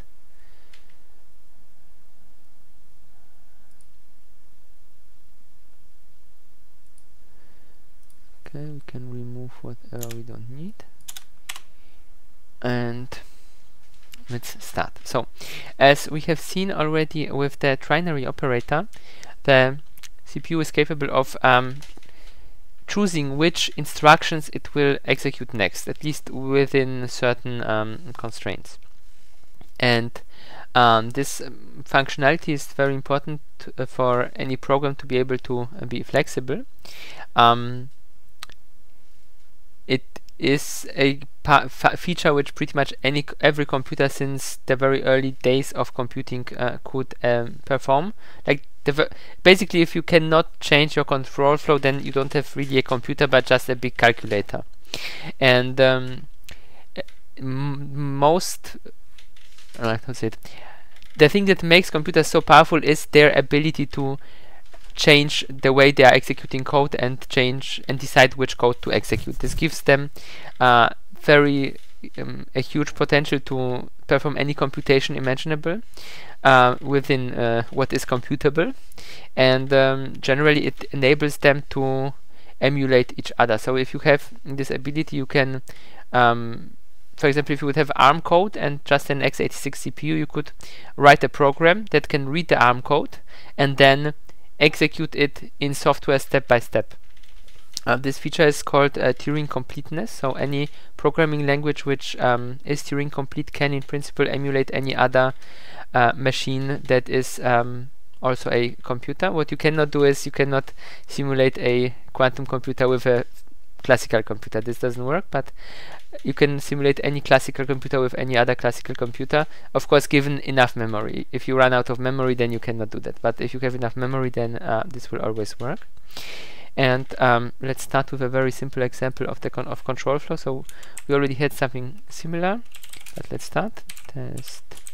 We need some variable because it the computer needs um, something to decide what it should do next. So let's give it a variable uh, variable which has some value then then let's give it another variable. Minus 1 and as we have seen with this trinary operator we could already do something. And in this case for example what we can do is we can write if. So a condition test var is equals equals 1 to 3 so we want to test if our variable is equals 1 to 3 and if it is um, and if it is then we set our return variable to be 1 and the way you write the way this, the syntax in C++ uh, and C works is you write your condition. It needs to be enclosed in brackets. There are some languages where you could write a condition like this. For example in Go you can do it. You can do it also in uh, MATLAB script. But um, this is kind of ugly so um, I like the C++ version where you need to put it, it in brackets much more. And of course, um, in JavaScript, Java, um, TypeScript, and many other languages, it's the same thing. And after your condition, you have um, you can pro uh, provide a statement, an expression, which then will be evaluated if the condition is true.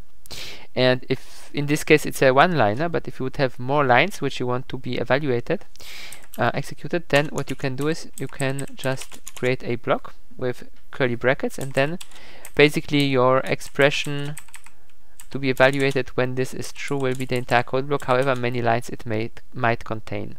If it contains only uh, one line, then it's equivalent to not being in a block, but if you need more lines, you can just create a block. And another very nice feature here is that you can also you don't need to if you want to do something if this is not true you don't need to make um, another if and then say let's say this is zero. Um, but what you can do is you can just use else. And this way you don't need to do the same comparison again. So definition says you have your if then you have a statement which can be a co code block and then you can have an else followed by another statement or code block. And the else code block will be executed when whatever condition you have here is false. And here you can have a very complex expression. You can have a complex equation which computes something and then checks if it's greater or equal something else, whatever you want. You can use logical operators to uh, combine different conditions with each other. Then the whole thing must evaluate to true for the expression here to be true. And what you can also do is you can kind of take an if and then just paste it again and then what you get is an else if. And in some computing languages this thing is written like this. It's kind of an own explicit thing but in C it's because C kind of takes whatever is the next expression as um, as is without much uh, complaining. You can just write else if with this and the code intern the compiler internally does not even need to explicitly have like a support for an else if scenario. And the else if basically is, works like this. So if this is true then this is done. And if this is not true oops, then it evaluates the next else if so here we could have a condition. So let's say something more complex. Oops. Um, or that. And the one the first one will be test var is equals 456 or it's equals 789 and we could also add maybe a um, oops, or uh, this is in principle we, I'm putting here a bit too many brackets just to be on the safe side but um, you wouldn't necessarily need uh, that many brackets. Um, so if you only have like expression like this that should be just fine. Uh, but here we want brackets because we want here another expression, so it has to be greater than 100 and smaller than 199, let's say. Uh, you know, just to demonstrate what you can uh, type, what equations you can have. And of course, if this is true, then it will go here, and else it will do else, and you can of course, as mentioned before, take another if paste it. I mean, you, you, could type it. I'm just pasting it because it's convenient. And have another condition. So here, let's say uh, it's 111 or uh, 222 and so on. And then you would assign do something, whatever you want. In this case, we are assigning just different values to our return variable. But we could do whatever we want. We could have a whole program written as one of the code blocks. And you can have as many of these else ifs as you want. Um, what you can do, which is useless, but you can do it, you, you can of course specify um, an equation which will never be fulfilled, so like this one. And I don't, and in my experience, the compiler will not even complain about that. Let's see. Yep, it didn't even complain. Um, although here, as you see, the IntelliSense is complaining because it kind of knows that this will never be true. So perhaps you wanted to make an OR, and it tells you that. So um, modern IDEs are quite helpful in finding even such uh, bugs. But on a purely se semantic level, you can make conditions which will be which will be never met. This is perfectly valid. You could also make like um, an if one, which always is true. Um, this is a very ugly way of disabling or enabling code blocks. um, there is a better way using the preprocessor, which we'll uh, take a look uh, in once we are done with the basics of uh, the C language but um, this is something you could do in a pinch if you want to disable some code. Block. Usually what you would do is if you let's say we have here let's delete this. Let's say we have this code block here um, this branch uh, this condition and we want to disable it. We want this to always be false then we just end zero. So we, we keep the code. I mean of course we could just comment it out. Oops. But if you are using like a multi-line comment and you already have a multi-line comment here, this kind of breaks because this multi-line comment ends your other multi-line comment. So if you are using multi-line comments, then you cannot comment the code block out. And then just making everything into single line comments is mighty tedious, although there is a hotkey for that. Uh, what was it? Control KC, no, KU, KU. So you, you control so control K and C. So you press control K and then you press control C. But uh, so uh, right now it works. Uh, so if you like not select everything then it will make a multi-line comment. If you select everything it will actually make you a normal single line a normal bunch of single line comments everywhere. And control KU you can see them somewhere here. Uh, I have no idea. Somewhere it's control here comment section and comment section. Uh, so there there are, there's a huge amount of hotkeys. Oh this is also a very nice one. Make everything uppercase or make everything lowercase and so on. Um, but of course if you would have some IDE which does not have such a hotkey and you just want to disable the block and you don't want to comment everything out by hand because you have already multi-line comments, you could just make the condition to always in the end evaluate to false. And if you make a build, a release build, this would actually really just remove this code entirely from the final result because the compiler understands that this code will never be executed. In debug, I would expect this code to be mm, kept even though it would never be used. Um, so this is yes.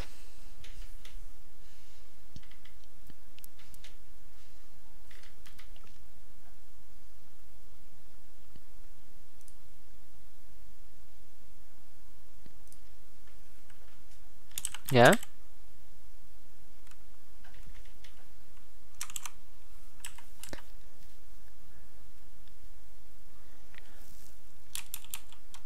Yeah, it would. We would never, that's correct, we would never trigger this case, so we could simplify the code like this.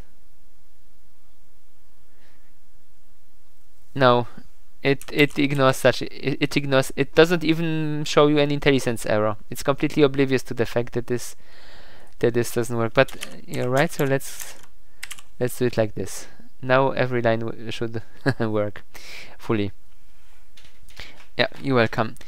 Uh, good. So, as said, this is one thing, and what we will learn later is that you can use in such uh, equations also a function calls, but we are not yet at the level of doing function calls, so I'm just mentioning it without uh, providing an example. And um, what you can do if you don't have complex expressions in your if, so if you would have only, if we would have simplified this to this, there is another control flow mechanism that one can use. It's called a switch. And for the switch, we provide, of course, the variable which we want to um, base our decisions off, and then we can just specify cases. So let's say case 1, 2, 3, uh, case uh, 7, 8, 9, case uh, 4, 5, 6, and default. So if the variable is equals 1 to 3, then this case is triggered. So let's say test uh, red is equals 1. Uh, and there is a peculiarity about this mechanism that if you write it like this and then let's say here let's say we want to have uh, I don't know 2 well, let's give it yeah let's say it's 2 um, and then here we want to have it 3 if we would run this code as is, even if test var is 1 to 3, it would end up to be 3 because wherever we enter this case structure, the execution falls through over the label. So what we need is a break. Break tells the compiler well, to make to generate code that here at this point we will want to skip to the end of our entire switch and not execute the next line. This mechanism is in some way quite convenient, but also, so here for example, let's um, remove the break, we can test this in the debugger. Then uh, this behavior is in some cases convenient if you want to have like, if, var if variable is something, then do this, and the variable is uh, something else, do another thing first and then do this. Um, but it's also a huge uh, great source of bugs because it's easy to forget to make the break and then you're wondering why your code is uh, is returning always 3 and not and never 2 in this case. So um, this is something to keep in mind that you always need to make these breaks. And for example in other languages like C sharp that was changed such that um, by default, if you don't specify break, uh, the compiler will just uh, throw a compiling exception, and you need to explicitly specify a fall through, and then the ne the next label name to which it should fall through. So um, it makes it kind of less convenient, but on the other hand, much more er error proof. And of course, we have this default label, which, as the name says, is is just the case which will be triggered if none of the above cases is true. And the order is also kind of uh, arbitrary so if we put it like this it will also work. So default does not need to be last but if it's not last then you would need to uh, give it a break as well. Um, the main limitation of such of the switch is that in C++ it only works with machine types so basically with integer numbers um, while in other languages like C sharp um, or, or if we would be using um, an if a, a lot of ifs, then we could compare complex types and uh, here we only can use numbers and of course enums since enums are numbers. But for example, if we would have a string and would want to compare a, um, a string to some reference string, you can do it with ifs, but you cannot do it with a switch. A switch will on will in this case fail. In C sharp, um, they implemented they defined the language such that this is working but there the string is a kind of part of the basic types that this language supports. And since the language is um, not uh, one that is compiled directly to machine code but uh, only to a intermediate representation which is then is interpreted they can more or less invent arbitrary types uh, arbitrary types which they can then handle within the syntax of their language like a machine code like a machine type without uh, the actual machine being able to understand or do something with that type. Um, yeah that's that. So um, that match to this uh, switch um, switches are quite useful if you want to for example con convert um, enums to strings. So you could have um, a switch, you provided a variable of type enum that can have different labels and then in each case you would assign a resulting variable with a string that would be the textual representation. For example, if you want to print your state to the console, that would be quite a useful use case. But um, that's uh, pretty much all the ways that you have directly uh, how you can control the flow of your application. Although there is again with regard to function calls one thing to be um, mentioned here that if you have a function call within your uh, uh, equation somewhere um, which parts of the equation will be uh, evaluated is in fact uh, dependent on um, what input the equation has. So it's not like that it here if for example we feed it the value uh, 111 and it sees that this is true and it knows the whole equation is true then it will not make this comparison anymore. So if this would be a function call if the first part of your equation would be true then it would already never execute the second function call so this is something to, to keep in mind and um, this is a way how you can also implement control flow within equations but this is kind of resulting in usually not very readable code. So if you want to create normal con control flow you should just use ifs um, or switches. That is uh, the right way to do it. And of course the next um, sort of uh, control flow mechanisms that we might want to take a look on is uh, a loop. I already mentioned loops before. Uh, it is more or less how it sounds. You have some code and then the code is ex executed in a loop multiple times, always the same code. So let's write such a loop. Um, in C you have three times three types of loops. The simplest one is a for loop. You started with a for, then you can specify a variable which will be your um, loop variable. You don't have to do it. You can just leave it empty and then have some other conditions. Then after semicolon you can specify a condition. So let's say i is less than 10 if you have a loop variable then you can use it. You could for example place the loop variable uh, before your loop. Then you can still access the variable after your loop finished which might be interesting in some cases um, you could also have here a function call that just checks something and says, okay, continue loop or not. For example, if you are reading from the keyboard, here you could read, uh, check whether there, there is already a pressed key in the buffer or whether the thing should wait for the next key and so on. And then you of course have a semicolon and then you have the the third uh, entrance entry in your um, for loop which is a, co a co code piece which is executed once the loop has already executed once. So the way this works is when the loop starts it will execute the, the initialization code block once it will not do anything else. It will just execute this code block and then it will check whether the condition is true and if the condition is true it will proceed with executing the loop body. So let's mm, give it something to do int m counter 0 zack counter and we want to increment the counter each time the loop runs. So it it does this once, then it does this, then it assuming this was true as it should be for the first code, then it executes some code, and then it jumps back to the beginning, but then it jumps into this block where we can do something, let's say i++, plus so increment i. After doing the this code block, it will again evaluate the, the condition, and if the condition is still true, it will proceed executing the code block, and then it will repeat the same thing. So we can uh, maybe put a breakpoint here and quickly step through our loop to see how, how this works so uh, oh right one more thing we should just disable all the things that we disabled in the other one that makes the code more readable. Uh, we don't want this. Uh, basic runtime checks, we don't want that, and we don't want this either. Should be good enough to get readable code. Right, so we, we have here, of course, our initialization of our counter variable.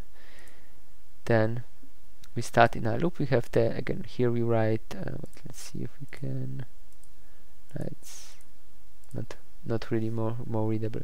So we put 0 into our e, i, then we, we make a jump to our condition. So here we have a unconditional jump. It always initializes and then jumps to the checking the condition. The condition is here. Um, and then it has a conditional jump. In this case it doesn't jump because the condition is um, still uh, true.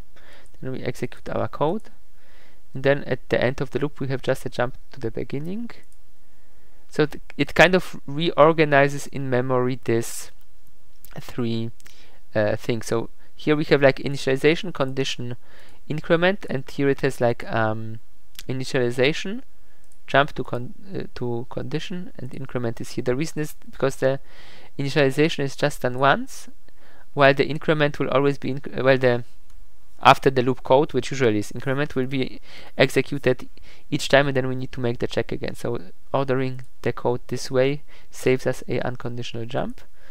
Then the whole thing will just repeat 10 times. We can uh, watch the register on the side. 5, 6, 7, 8, 9. Okay, that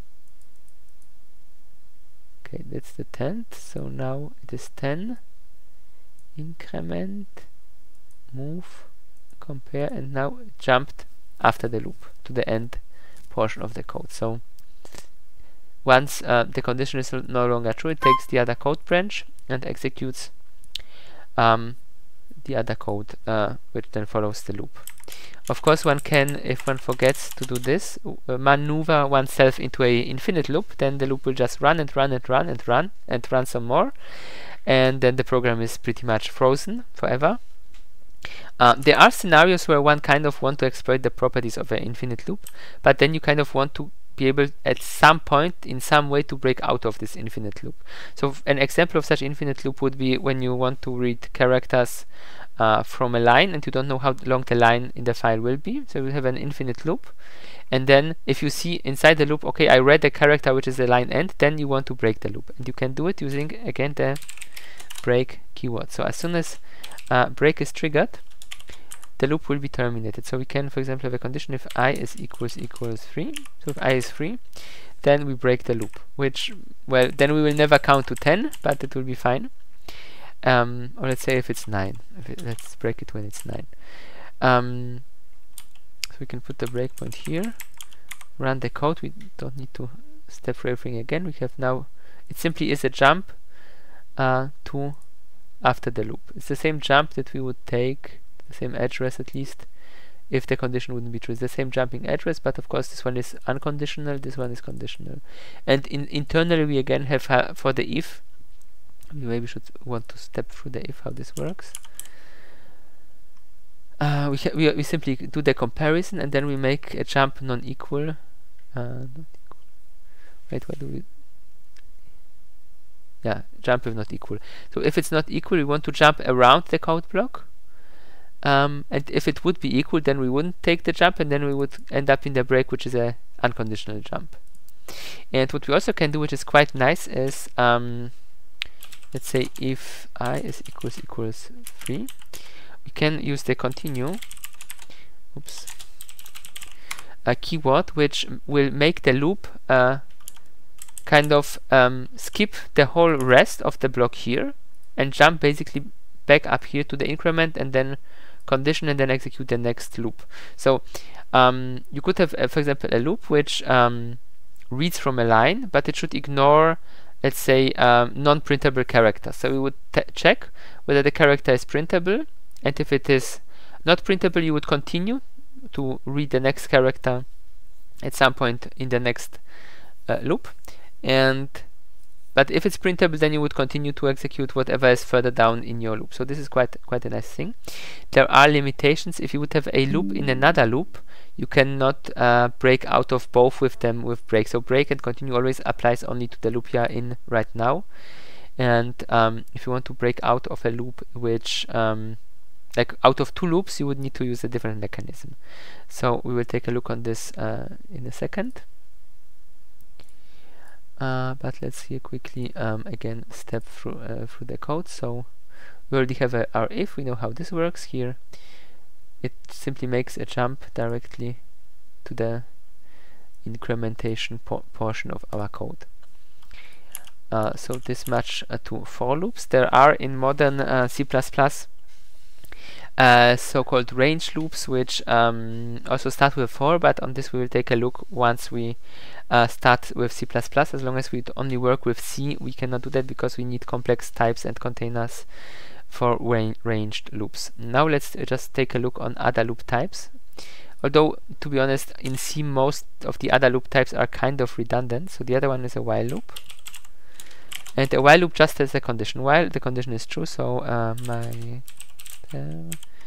is um, I mistyped somewhere. My counter is less than let's say 15 we will then here increment our counter so the difference here is that this is that such a while loop um, it's just a condition. And effectively it is just equivalent to a for loop which is written like this. So let's say zack um, of course here you can also use break and continue just that if you do continue you won't won't have the block that still would be executed. And also this block has limitations. You cannot um, like put another semicolon there or anything this this it will complain so you can have only very simple code here um, what you can do not wrong you can separate the code with commas which otherwise would be kind of an untypical way but here this works but only works to a certain extent. So here you could, for example, initialize uh, j is equals to. But if you would want to this be float, I think this will not uh, will not complain. Let's see, not let's see if this compiles. Um, build. Yeah.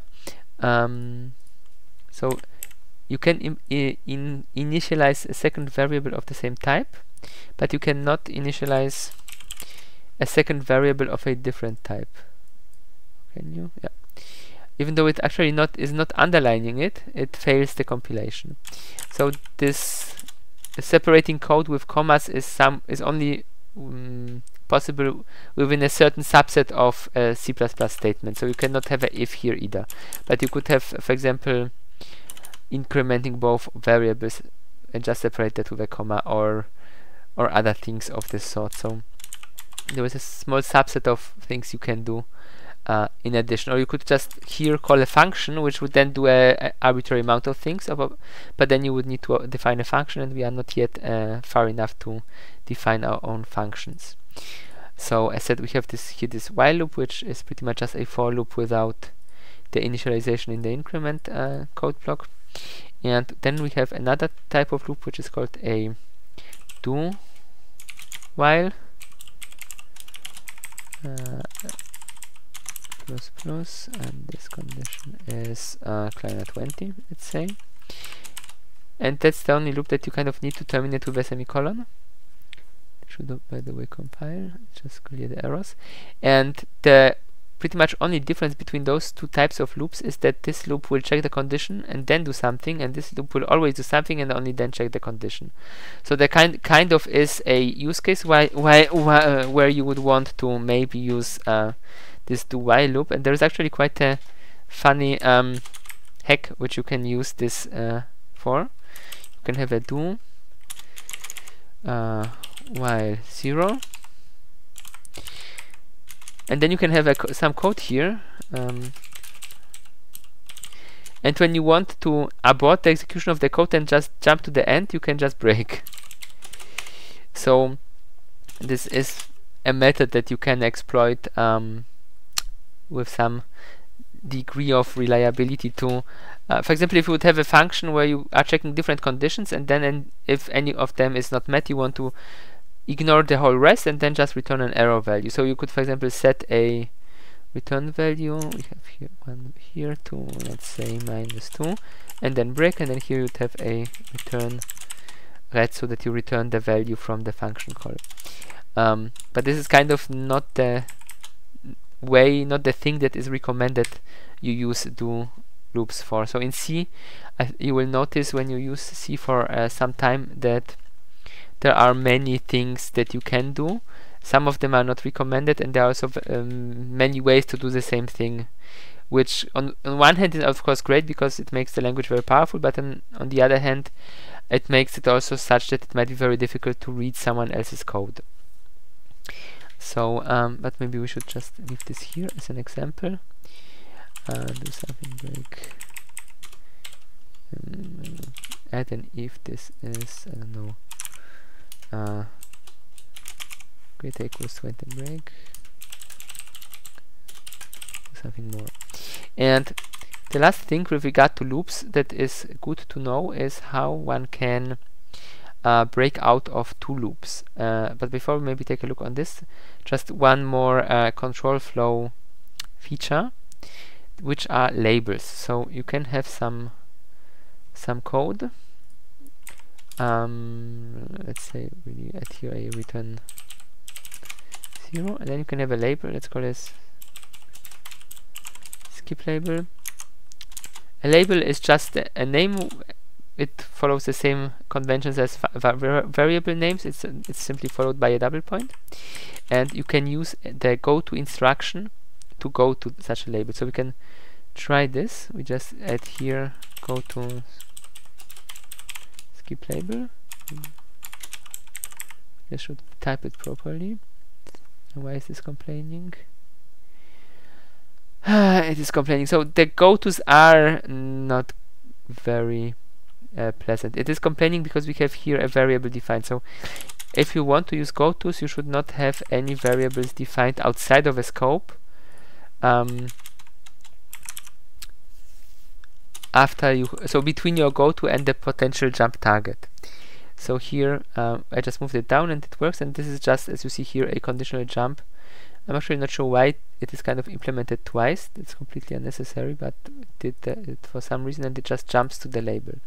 So this uh, go to statement is a way to um, implement to force the compiler to add a unconditional jump to some address. And since this is rather a low level operation, it also kind of fails with variable definitions in between. Um, so, but as said, you can exploit such a mechanism to um, uh, you can exploit such a mechanism to uh, break out of multiple loops at the same time. So let's create a loop in another loop. And to not have problems with, with uh, defined variables, let's put everything in a code block. Um, int test x is equal 0. Then we have for one infinite loop, inside which we have another infinite loop this is kind of the same as while one. Um, right here we would have our uh, counter plus plus. And if counter greater than 30 then we go to go to breakout. We need to define the label. It's now complaining that it doesn't find it and our breakout label would be here and this way we can terminate both loops at the same time. Um, a alternative way would of course be to have here a just a normal break. But then we in the next loop we would need to add the same condition again. Uh, right that break should be indented. Um, but since we don't but since we don't want redundant code, so we don't want to check twice, we just can use this trick to break out of the loop entirely. And um, maybe just one last thing to the loops um, before we return the code. Um, if we take a look on our the simplest case of our first loop, let's remove everything that's unnecessary this is a comment then we could write this loop uh, kind of manually. Um, int i is equal 0 go to uh, skip. Next. i plus plus. Skip. If i is uh, equal uh, that would be the um, analog on greater equals 10 then go to done sonst my counter plus plus. Go to next uh, oops. Next and done. Oops that uh, should be there my, my counter has a typo somewhere. Yeah I just m counter. So effectively a loop when uh, you look how how the code looks the way uh, well how the code looks in in the machine representation it will it will kind of look this way. So as we've seen it initializes then it skips uh, was it like this? Yeah. Then it skips uh, goes directly to the condition. If the condition is no longer met then it breaks out then otherwise it executes code and it jumps to next. And pretty much a uh, break statement here is e is equivalent to go to done. And um, continue is just equivalent to go to next um, right and we are running out of time so let's uh, use the last minutes uh, we have to take maybe a look um, how this switch here is implemented in the uh, by the compiler. Oops, uh, we have a small bug somewhere. Uh, right, right, right. It does not like um, to have a label and then no code to execute after the label. Um, that is annoying. Can we do it like this? Yeah. Uh, so we can just kind of specify that there is no code and then it will also um, be fine with that. Okay, but going back to our uh, code, so you see that the implementation is kind of very different than of our ifs. If we scroll a bit more up, then we see that wherever we have an if, we have the actual condition, then we have the code block, then we have our next condition. So the all the conditions are spread around around the uh, um, not around across the whole code um, which we have here. When we, however, look on the implementation of the switch, it looks quite different. It has at the beginning um, a table where it um, where a table um, it has a code block where it checks all the conditions and then it has the code to which it should jump to defined here uh, below. So it first will check all the different conditions since I think we initialized it to 10 none of them is true so uh, the last one the last jump is done unconditional jump to our uh, default offset so let's step through it. it all of the conditional jumps none of them is met and then we have our unconditional jump to the last entry and here we see that if we would not add the breaks like for here then so normally we have like our code and then we have the break which just jumps to the end. And in this case where we just have the code and we didn't add the break so then it just continues with the next and the next and the next entry. So it kind of um, allows you to generate very efficient code if you can if you just need to compare with different single values. So um, it is recommended uh, if you really just want to compare with states or something like that that you don't use uh, ifs but instead a switch wherever possible. As mentioned the, the main downside of a switch is that it can only handle these simple types and you cannot make like a range case so if you like have like three values then you can just write okay um uh, for five six or something like that. But if you would want to cover a large range like here then what you could do in principle would be a, a hybrid approach. Um, right, also, by the way, this is kind of equivalent to this since this condition here is pretty much the same as here if we remove that. So let's do that. Uh, and then this should be 2 and then we should of course remove this because uh, oops um, because this cannot be represented. So now they should do the very same thing. Not quite. Wait 1 2 3 1 2 3 4 5 6 7 8 and then here we have for the value number we're missing the value number 3 so let's add this as well. Uh, 1 1 1 2 2 2 that would set it to 3 and what we would basically need to do if we want uh, fully implement what this loop could do is we would in the default case need to add an if which we can. So if this then uh, 2 and we actually can be a, a kind of funny about it. We, we don't need to make like else uh, that but instead we can just exploit the uh, property of break and then just have our if and then break out of this then this break jumps to here and this line will not be executed if this if is true so um, even if you cannot represent everything with a switch that you can do with an if um, if whatever you are doing is um, mostly representable by a switch then you can just use a switch with an if in the default case to uh, implement something that fully represents your operation. Um, and since we are running out of time, I think this is a good moment to uh, finish. I will add some more comments here to the code and upload both projects to Moodle, as well as the homework from uh, somewhere here. Wherever it was, here it was.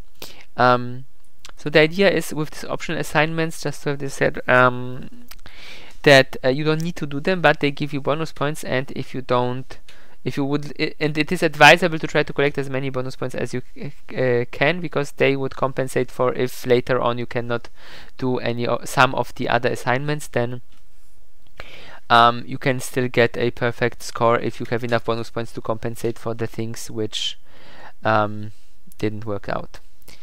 And that's it. Um, are there any questions?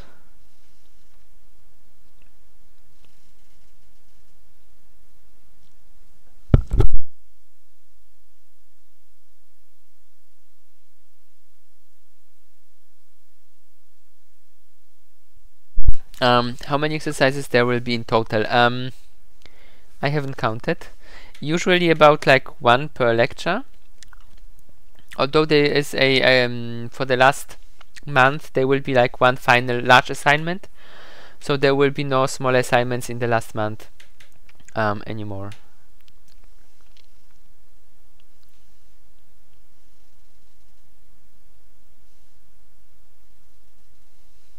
Um, reference books. Um,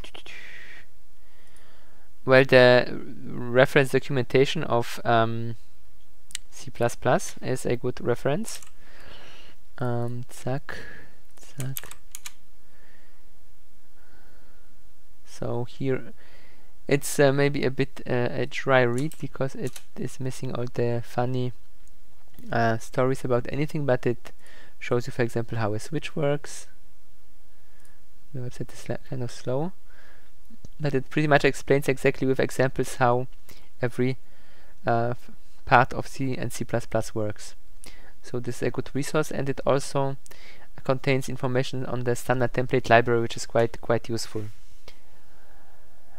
Um, the next question is whether there is a deadline for the last assignment. Well, um, the lectures go until uh, the end of June, the very end of June, so the default deadline is that um, the assignment should be supplied by end of June. So I think I need to have you given the grades by a week after that. So um, I would not want to uh, have to um, explain why you don't have grades just because you want to have some extra time. So ideally, you should support supply everything by end of June. If you have a good excuse why you need a, a week more, then that is um, doable but your goal uh, should be to to be done in the last last week of June with your assignment. Any more questions?